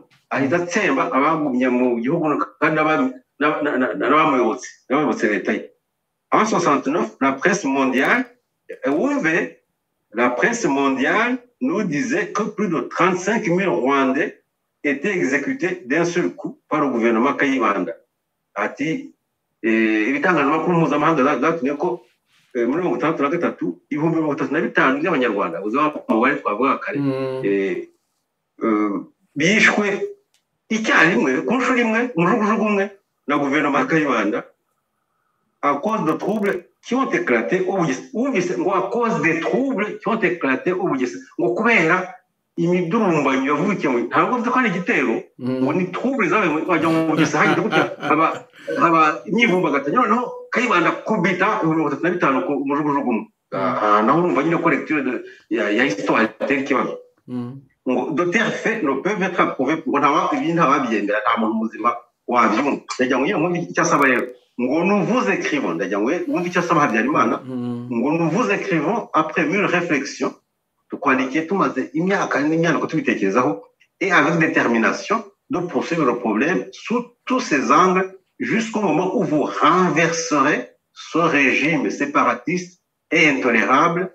Ngo tuzakomeza rwose kugeza igihe tuzakora ikibazo mu mpande zose kugeza igihe uzahirika buriya butegetsi bwa- gatanya butiha- ntawe ubwihanganiye surtout jusqu'à ce que vous sentirez le besoin de notre concours fraternel pour la la reconstruction nationale. Ariko cyane cyane igihe uzumva ukeneye ubufasha bwa concours fraternel pour la reconstruction nationale. Donc rukeba yitandukanyije n'umwami yitandukanyije n'abantu bose yatangiye kurwanira u rwanda kuva muri mirongo ine na kane nti- nta- ntawe umwumva kayibanda niwe kidobya niwe kibazo gukubita umujugujugu umwe akica mirongo itatu na bitanu akabyisasira kubera ko habaye mu bugesera ngo twa turubure si n'igitero ni turubure. Wumve iyi lecture y- y'amateka. Ngo nous terminons en vous souhaitant la paix monsieur le commandant supérieur et vous prions instamment de nous répondre confidentiellement comme nous l'avons fait tu- tu- tubicishije mu confidentiel. Nawe ufefetse informez-vous bien. Ufate amakuru ufate amakuru ashyushye vous que nous sommes dignes de telle conversation. Ati nu- nubaza ntuzasanga tu- tu- tu- turi indakemwa dushobora kuganira rwose ku buryo bwagira icyo bubyara c'est la raison pour laquelle tous les rwandais vivant à l'extérieur de leur pays nous ont donné leur confiance eh, ukubita ukoma akaruru tukagufasha ngo de votre côté ku ruhande c'est en connaissant vos bonnes dispositions ahangaha birakomeye ngo eh, votre bonne disposition et votre humanisme ubumuntu bwanyu avons osé ngo byatumye dutinyuka rwose ngo pour la première fois ku bwa mbere mbere bibaye de correspondre avec tel personnage du gouvernement rwanda ni ubwa mbere tuhati- dutinyutse kwandikira umuntu uri muri guverinoma y'u rwanda tugendagira ngo mbibutse ko mirongo itandatu na karindwi mu kwezi kwa cumi n'abiri eh, kuri Nohe- noheli iri bube habyarimana ari minisitiri w'ingabo z'igihugu n'abapolisi. Eh, mwibuke icyagihe hamaze iminsi haba za za raporo twavuze eh, ari umutima wari utaraza ariko wari hafi hanyuma arangiza kuko ni kuri- ni kuri paji ya nyuma arimo kubasomera ngo c'est nous qui cherchons la paix le bonheur et le salut du peuple rwandais. Nitwe dushaka amahoro le bonheur umunezero et le salut n'umukiro w'abanyarwanda rukeba vous remerciant de la suite favorable qu'il vous sera possible de réserver notre demande. Nous vous prions de bien voir agréer, monsieur le commandant suprême. Comment le commandant suprême, w'ingabo ntabwo ari ministre de la défense, ni commandant suprême perezida w'igihugu. Bamuhaye ubutegetsi rero bamuhaye. Ngo rwose nyakubahwa mu- mugaba mukuru w'ikirenga w'ingabo les assurances fraternelles de notre gratitude et de notre plus haute considération. Sinye rukiba ibyo yavuze mbere argumentaire mwumvise muri rusange iyo mbabwiye iyi baruwa nabanje gukeka ko ari impimbano oya nagenzuye nsanga ari ibaruwa y'ukuri kumbwira rero ko yakiriwe itagize ite iyi ngibi i- igitangaje ni uko eh, nta kuntu iyi baruwa nashoboye kubona ko mu rwanda batari bayibonye. Na na habyarimana agomba kuba yarabibajijwe bakavuga ati ibi ni ibiki? Kandi agomba kuba nawe yarayibonye. Yarabwiye kandi dore ibintu ba- ba- bansaba ni ibi ngibi. Habyarimana eh, bamwandikira muri mirongo itandatu na karindwi yakoze kudeta muri mirongo irindwi na gatatu. Ni ukuvuga ari imyaka itandatu yakurikiyeho nababwiye ejo bundi aha ubushize mu kiganiro gishize yuko banyatanye cyane cyane muramutsa josha muri kwezi kwa cyenda mirongo itandatu n'umunani nyuma ya mutumba bo bari ba- ba- bashatse gukora kudeta baranabafunga ba- baranabacira urubanza barafunga ko ni ukuvuga ko mu rwanda inyenzi zimaze gutsin- gutsindwa kuko rukebura yatsi zahinduye umuvuno tugere no gukoresha kugira ngo abanyarwanda tu- tu- tu- tubashimashime tubabeshyabeshye bakore kuri babone ko yibanda bakoresheje ingabo. Kubera ko i burundi mucobora yavanyeho ubwami afata ubutegetsi mu- muri congo mu buto yavanyeho eh, ubutegetsi bw'abasivili bakavuga bati mu rwanda ho hasigaye. Ariko urabona ariguma arimo gutanga zose zirashaka gusenya ibyo kayibanda yari yubakiyeho avuga ngo ibyo kayibanda avuga byiza ashaka gukorera abaturage ahubwo n'ibyo bikeye bavuga ko we n'inyenzi ze n'ibyo yakoreye kuva mirongo ine na- kane tutazi ibyo ari byo ngo yashaka gukorera ibyiza by'abanyarwanda. Yajyanye muri iki nyine ko intambara yavuye noneho mu- muri geriya eh, no mu kurasa no mu kurasana no kugira gute n'ayo mashyaka abanza noneho barimo bashaka gushya eh, ni ukuvuga guca kurwanisha mu by'ukuri eh, abari ku butegetsi no koshya ababuriho kugira ngo ba- ba- batere akaduruvayo mu gihugu. eh, rwose niba nagira ngo nyibereke ko ni kimwe mu bimenyetso by'ibikoresho bakoresheje. Ariko ntabwo nabivuga.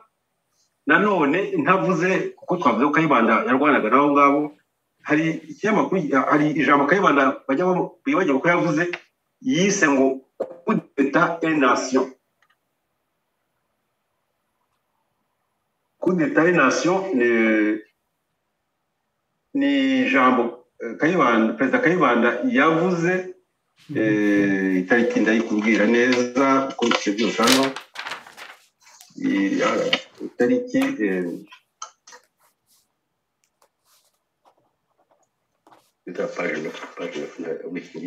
Eh, ni ijambo yavuze wagira itariki ariko ni ijambo yavuze awi ryasohotse muri rwanda carrefour d'afrique ikinyamakuru cya leta mu kwezi kwa gatatu muri mirongo itandatu na karindwi. Byasohotse mbere y'uko bikeba yandikira habyarimana. Kayibanda arimo guha amapeti eh, abasirikare bo mu ngabo. Noneho afata eh, mu gihe arimo guhatanga ama- amapeti avuga kuri yita kudeta kuko yazi ko mu mirongo itandatu na karindwi yamaze kumva ko ibyabereye i burundi yamaze kumva ibyabereye muri congo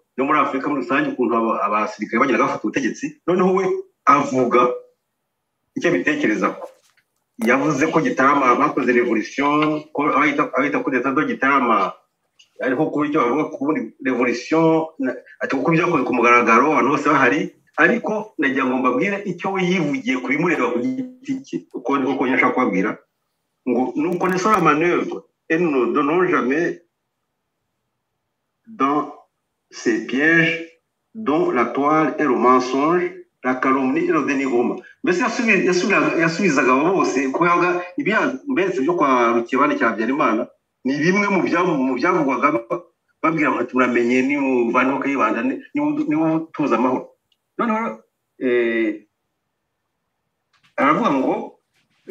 ngo nous connaissons la manœuvre ne donnons jamais dans pièges dans la toile le mensonge la calomnie et le dénigrement si les manœuvreurs veulent inspirer une quelconque crainte au gouvernement pour qu'il s'arrête devant l'œuvre longue du reste de décolonisation économique et sociale, qu'ils sachent que les responsables aiment trop leur peuple pour accepter un tel conditionnement.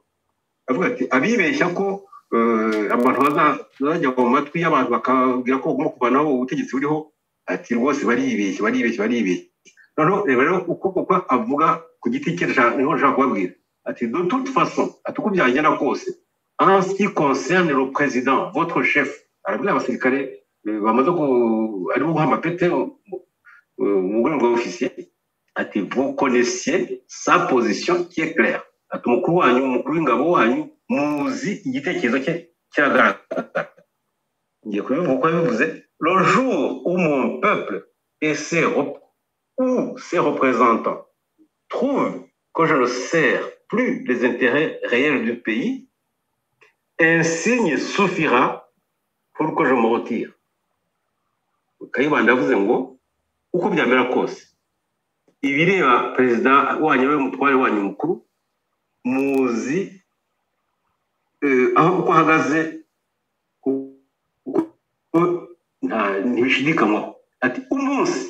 mon peuple peuple avec P, grand P, umunsi eh, abaturage b'u rwanda ou ses représentants r majuscule?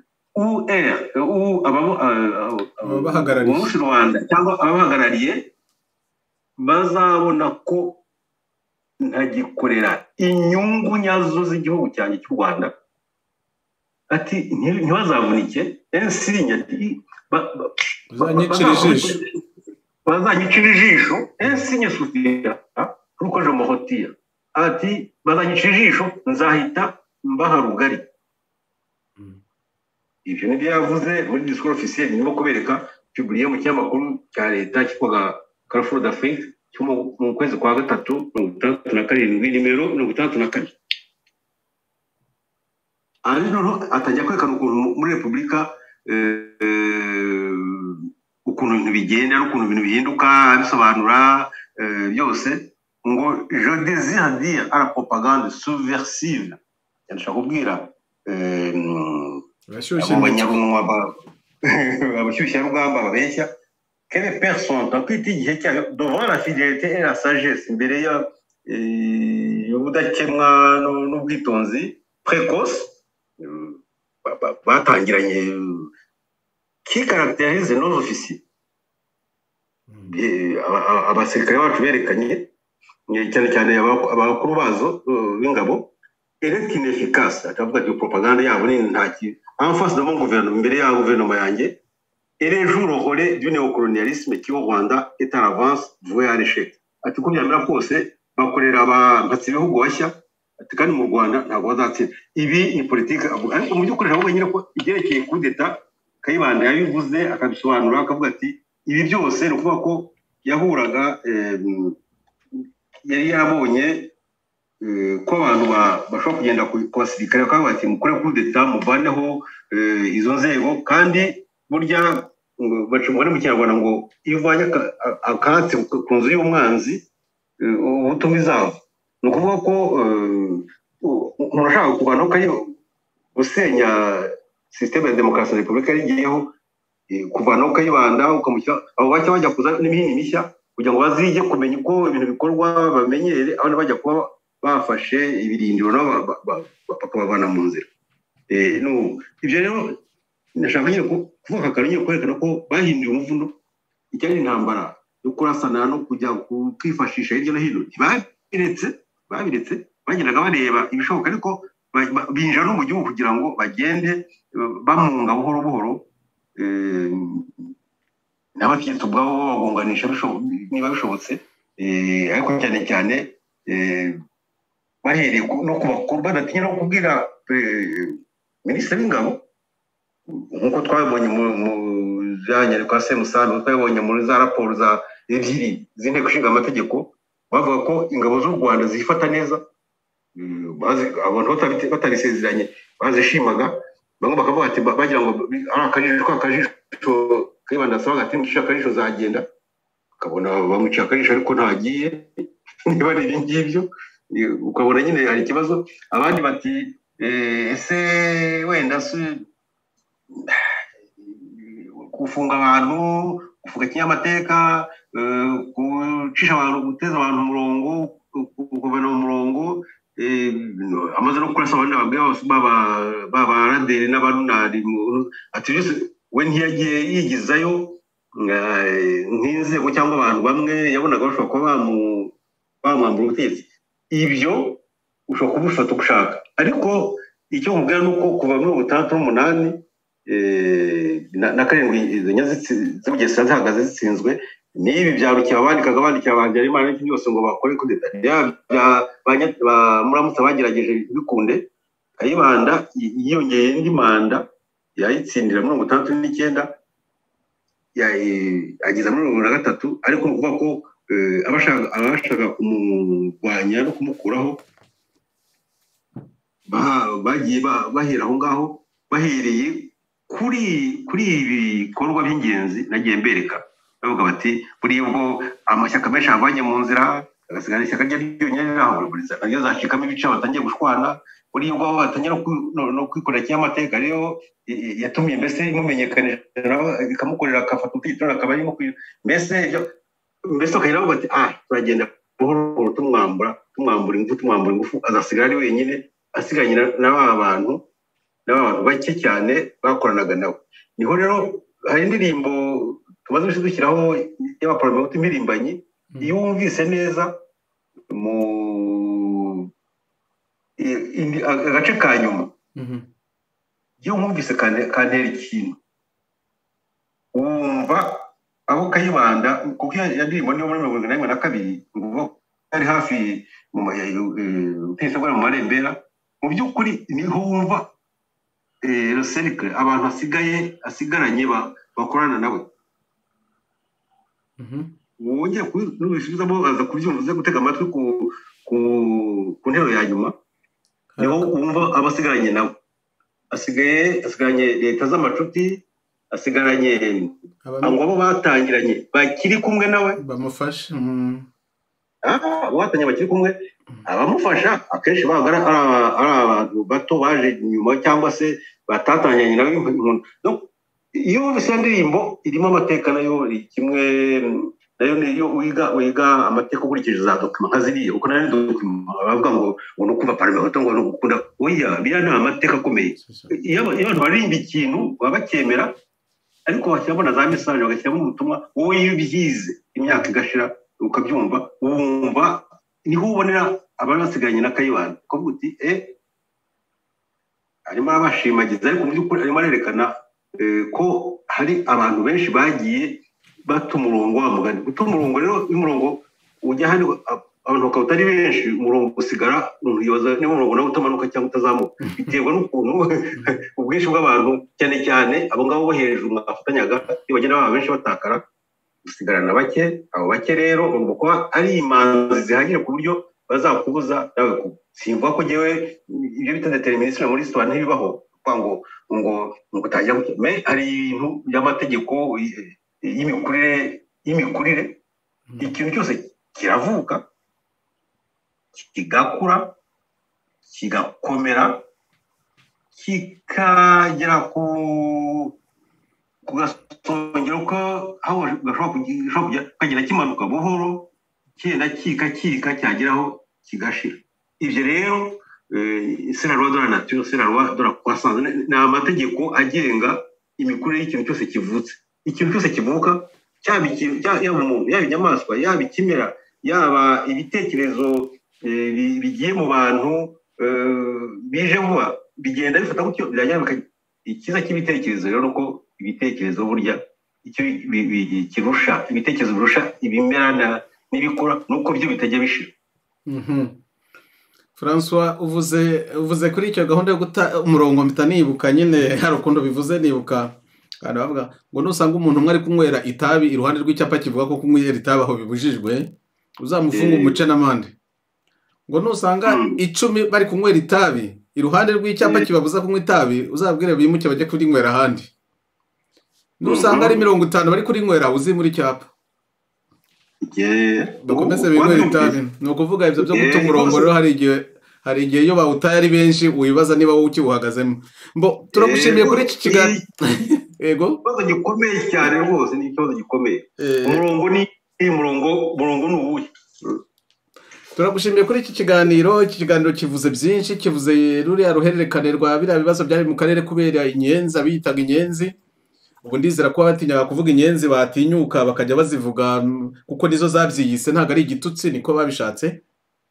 Ariko nyine mu ngaruka zabyo mu ngaruka za biriya bitero by'inyenzi ni ingaruka zikomeye zabangamiye repubulika cyane igitangira eh, ziteza ingorane nyinshi hari ibintu byankanze byankanze. Ahora ndacyatekereza ndacyatekereza bariya bantu igihe watubwiraga iby'amashyaka uko bari batangiye kuza eh, bariya bantu wavuze nyine nakomeje kubatekerezaho nakomeje no kubatekereza bariya ba makuza ba mbiranya ba banzi ba rugira ba sezera. Eh, eh, ukuntu wakomeje kubavuga mbese bariya barideri hari abo nagitse nyuma rero ndababura nyine nkajya nyoberwa uko byabagendeye bariya ba afurika ba barabyo ba rutsindi intwarane ba mikayeli rwagasana abo ngabo ukuntu bakomeje kuvugwa ba gisimba bariya ba rwagasana wavugaga. Eh, rwagasana namuvuze eh, ba prosperi bwana Banakweri. kweri ba ndazaro ba Mm, twari twarayobewe uko bagenze. Eh, bariya bantu rero uyu munsi ni bwo eh, tumenye eh, wenda benshi ni bwo babimenye ko kubera ibitero by'inyenzi bafashwe n'ababirigi na, polisi eh, polisi y'ababirigi ndetse eh, ibarasira muri ruhenge mu ruhengeri muri yo mu ruhengeri nta n'urubanza rubaye. Muri mirongo itandatu na gatatu. Eh, ni abanyapolitiki ba mbere wa nabivuze uti yari ibaye prison y'abanyapolitiki. Imyaka icumi yuzuye neza nyuma yaho hari abandi banyapolitiki bahagiye batahavuye. Aho aho saba abo muri mirongo itandatu na gatatu byerekanye ko bishoboka. Ikibazo gikomeye. Eh, ikindi biragaruka kuri cya kindi cyavugwaga kuri polisi. Polisi muri za raporo zose zayivugaga nabi ko ari burutari ko ihubuka nubwo ari ikiyobowe n'ababirigi ko iyo polisi eh, ifite imico mibi rwose. Eh, yahutazaga abaturage. Ariko za raporo zikongera zikagaruka ko igisirikare cyo cyari kiyobowe na bariya ba ofisiye bakuru ba habyarimana cyari gifite disipurine Mu- mu- mu- muri disikuru udusomeye ntabwo ari raporo za pariroma gusa na kayibanda ubwo arabivuze. Na kayibanda ubwo yaravuze ko ari abantu saje bafite inisagese precoce kose precoce precoce. Nawe arabihamije rwose ko nta bwoba bafite kuri abo ngabo rwose ko abo ngabo ari abana b'u rwanda abana bazi imico. Abo bantu bashimwa gutyo. Bizagenda tuzagomba kudusobanurira ko muri mirongo itandatu muri mirongo itandatu na- nako muri mirongo irindwi na gatatu byaje kugenda.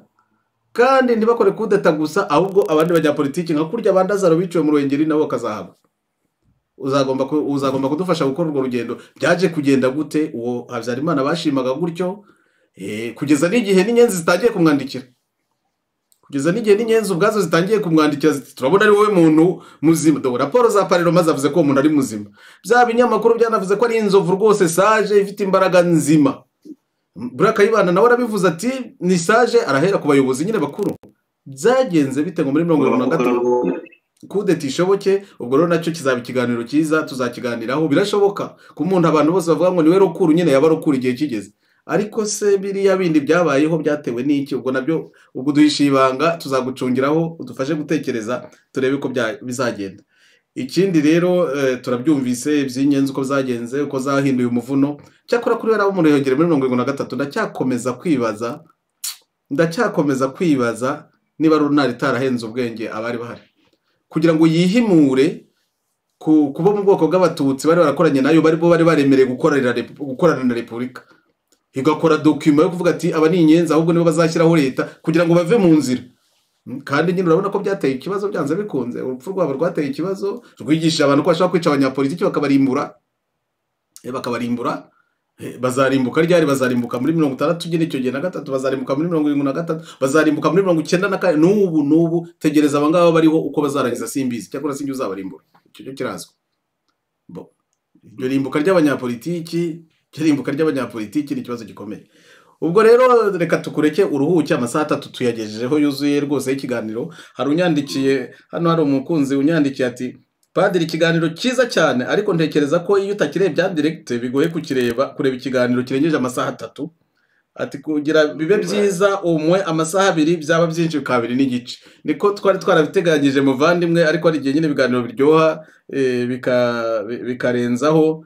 Natwe twifuza ko cyaba kigufi ariko aya mateka ntacyo. Eh, umuntu utabyumvise ajye yumva agace gace wenda uko ashoboye ariko ariko ibiganiro ni byiza. Reka rero dusoze iki kiganiro. Sinirwa nongera kukivuga muri makeya mwacyumvise nibura kuri by'inyenzi barabitubwiye. Hari akantu padiri fortunatus yongeyeho ariko ubwo mm, akazagaruka nyuma avuga ibitero by'inyenzi ati ingabo z'igihugu zari zimaze guhagarika ibyo bitero by'inyenzi na zo zari zikishakisha zari zikiyubaka. Mumenye ko na zo zagize konsiyanse ko zifite akamaro mu gihugu. Zikurikije n'ibyari biri kuba mu karere biriya mu- munyarugero akomeje kutwibutsa. Muri burundi zimaze gufata ubutegetsi muri congo zimaze gufata ubutegetsi ndetse n'ahandi muri afurika ndetse no muri uganda. Noneho zo zimaze no gufata ubutegetsi nako zimaze guhagarika ibitero by'inyenzi iyo zidakora akazi inyenzi zari zashyitse zari guhirika leta ku buryo bugaragara. Hagati aho ngaho mu butegetsi byifashe bite? Bahagaze bate? Nubwo bavuga ko ingabo zifite ikinyabupfura ziri gukora umurimo wazo abategetsi bari iruhande rwa kayibanda bari gukora iki? Nabyo twarabyumvise twabyumvise eh, uko ya makimbirane yari arimo uko bari bari kurwana na yo ku buryo bwakumvikana umuntu yasobanura ukurikije uko bari bari kubaka inzego eh, ibyo byose ibyo byose abanyarwanda abanyarwandakazi tujye tubyumva eh, tudashatse kuvuga ngo mbese twumva amateka yacu? Ameza n'amabi ayagoranye n'atarayagoranye tuyumve tuyamenye tumenye aho ibibazo byagiye bivukira. Uko byashakiye ibisubizo wenda bitari byo cyangwa se ibisubizo birimo indi mitego izadukoraho ni uko. Ubwo twabyumvise twabyumvise eh, ariko iriya sitarateji y'inyenzi zo guhindura zikabona ko igisirikare zitsinzwe. Zigiye kurwana mu buryo bwa politiki zinateranya abantu. Abantu bakomeje kuyivuga ko zagiye zibigiramo uruhare. Nitugera mu- ku by'ubu ngubu tuzumva ba tito ubwabo bisobanurira ukuntu bagiye bohereza abantu haba mu nterahamwe bakohereza abantu ngo babashyushye imitwe bica abatutsi. Tuzumva abatekinisiye babo bakoresheje. Uko bashutse abatutsi bari mu rwanda bamwe na bamwe mucukure ibyobo mugire gute mufate intwaro mubibike imbunda kugira ngo bazabamarishe mu yandi magambo. Uko banze kubatabara kugira ngo noneho ya jenoside bamwe bavuga muri za mirongo noneho ibe yuzure. Amateka y'u rwanda arimo byinshi. Reka twikomeze twiganirire. Eh, mu minsi iri imbere numara kutubwira repubulika ya mbere n'iya kabiri ka- tukaganira no ku bya iriya yo sinzi ari iya kangahe iriho. Eh, ubwo tuzafungura n'urubuga tuzafungura n'urubuga. Eh, tube twajya impaka zubaka abashaka kugira icyo bakunganiraho abashaka kugira icyo bavuga bati ibi siko byagenze twebwe tubibona ukundi baze nzi kudatinya deba. Tuzabiganiraho ndongera kubwira ijambo babandi bahera ku biganiro bakajya gutukana. Ndabibutsa ko tuzababwira bityo ngo bakabahana.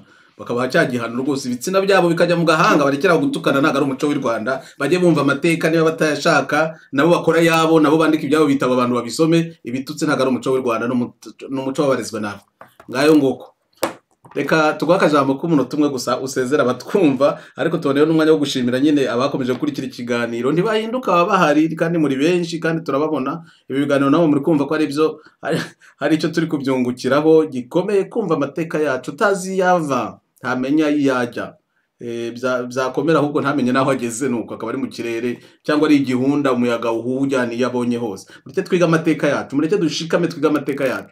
Bizadufasha. Cyane cyane by'umwihariko abashaka gukora politiki amateka y'igihugu kumenya amateka y'igihugu cyanyu ni ingenzi. Tushobora kuyobora igihugu utazi amateka yacyo. Iyo ukiyoboye nyine hari ya ndirimbo nyamurango ni bwo bivuga ngo ngo tuzaratira abatazi umunyarwanda. Hari abatazi u rwanda n'umunyarwanda kandi bashaka kuruyobora cyangwa se banaruyobora. Ariko batazi u rwanda n'umunyarwanda. Ijambo ni iryawe ryo gusoza muvandimwe. Eh, urakoze rwose kuko numvise hano naduhaye akamenyetso ko ngo twabona twa- turondogora nta kintu bitwaye. Abakurikira bazajya mu byo tuvuga Mm. ntabwo nsoza mvuga menshi. Ndashaka kuvuga ko eh, ya ya magambo atatu. Kurwanya ubukene kurwanya ubujiji Mm. kurwanya urugomo ubwo twavuga kayibanda yatsinze inyenzi yitwaje. Ariko niko bibona byagombye kutubera isomo na- n'icyitegererezo nabivuze kare ariko nagira ngo nongere mbitsindagire Eh, umunsi twarwanyije urugomo mu mitima yacu. Mu baturanyi no mu gihugu cyacu no mu bihugu duturanye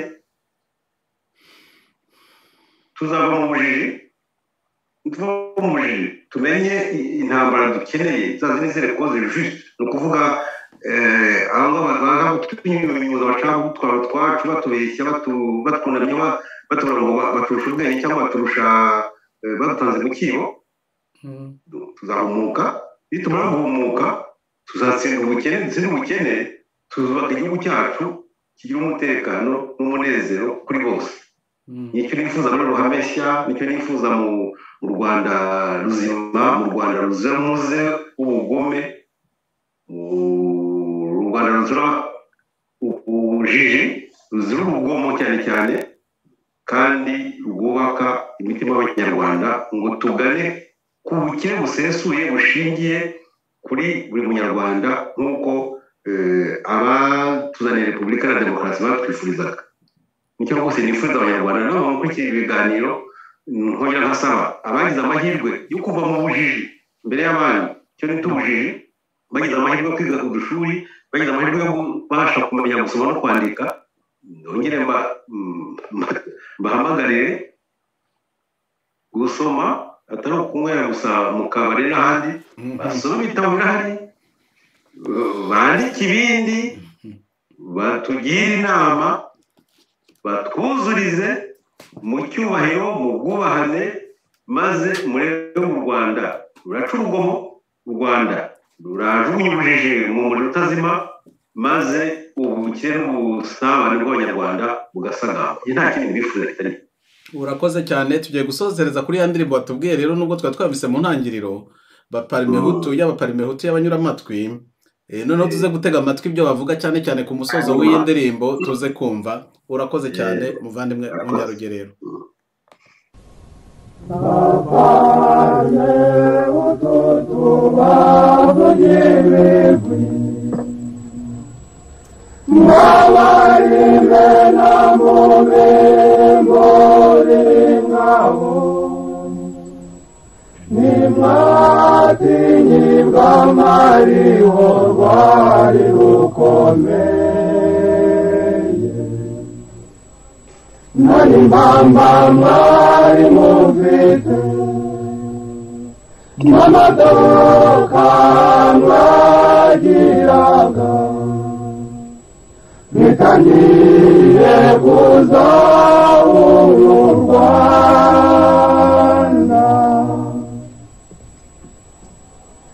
bapane utumuri mirimbanyi inkuba izuba ryo ku karubanda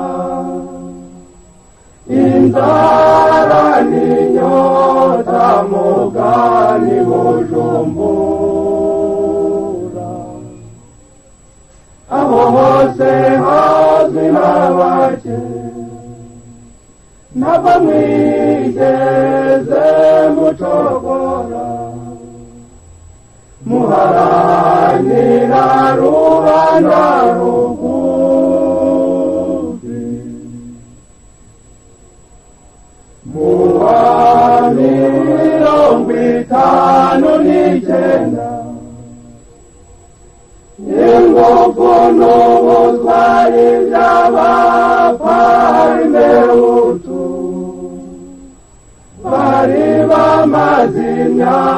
imyaka n'imyaka barengana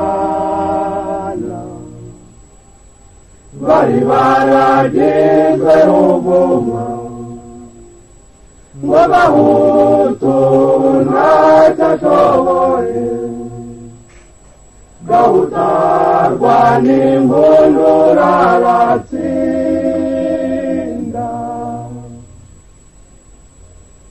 bidatinze mu wa mirongo itandatu nibwo batangiye itora ry'amakomini runari naradera ariko bo bakabyanga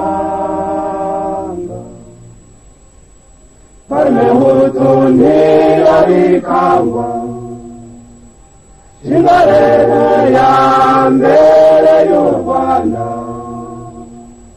impaka zirangirira ahangaha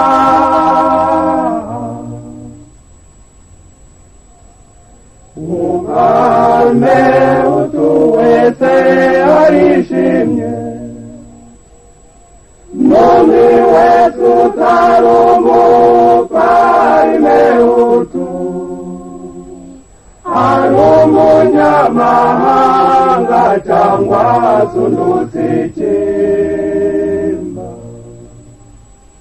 demokarasi irahamye niteze kuzasubira inyuma nimucyo tuyemere nta shira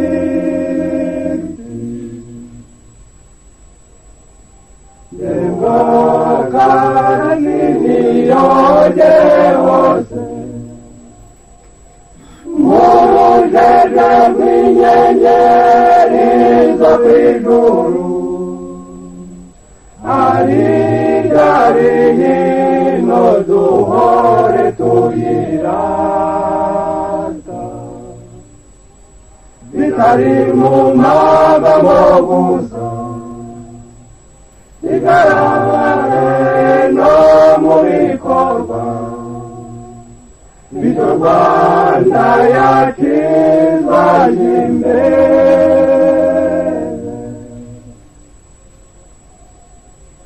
mupame utuwesi yubukaja subiza amaso inyuma maze wibaze ureba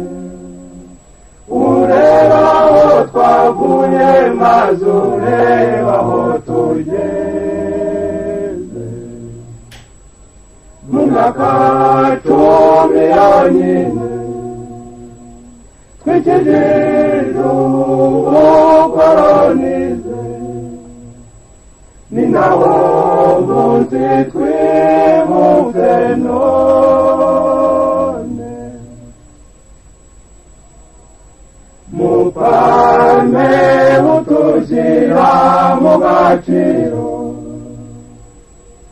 yebukirwa iragira cye twipakuruye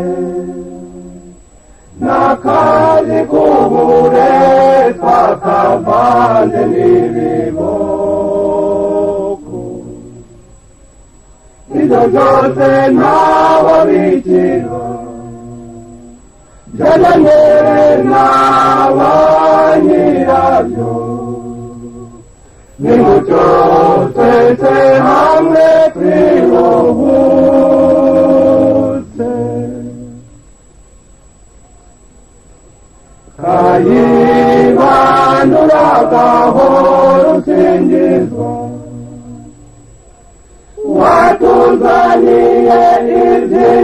byinshi by'ingenzi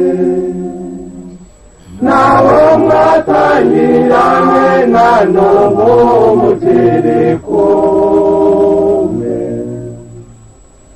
ntabwo mwaruriye ubusa dore icyo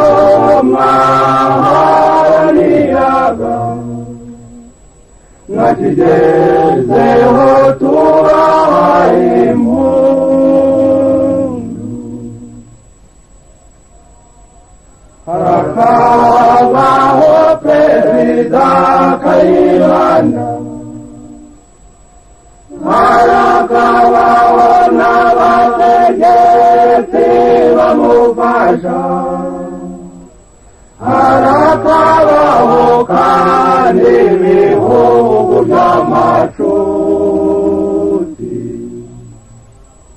harakabaho abaturage harakabaho na leta yabo harakabaho parti parmehu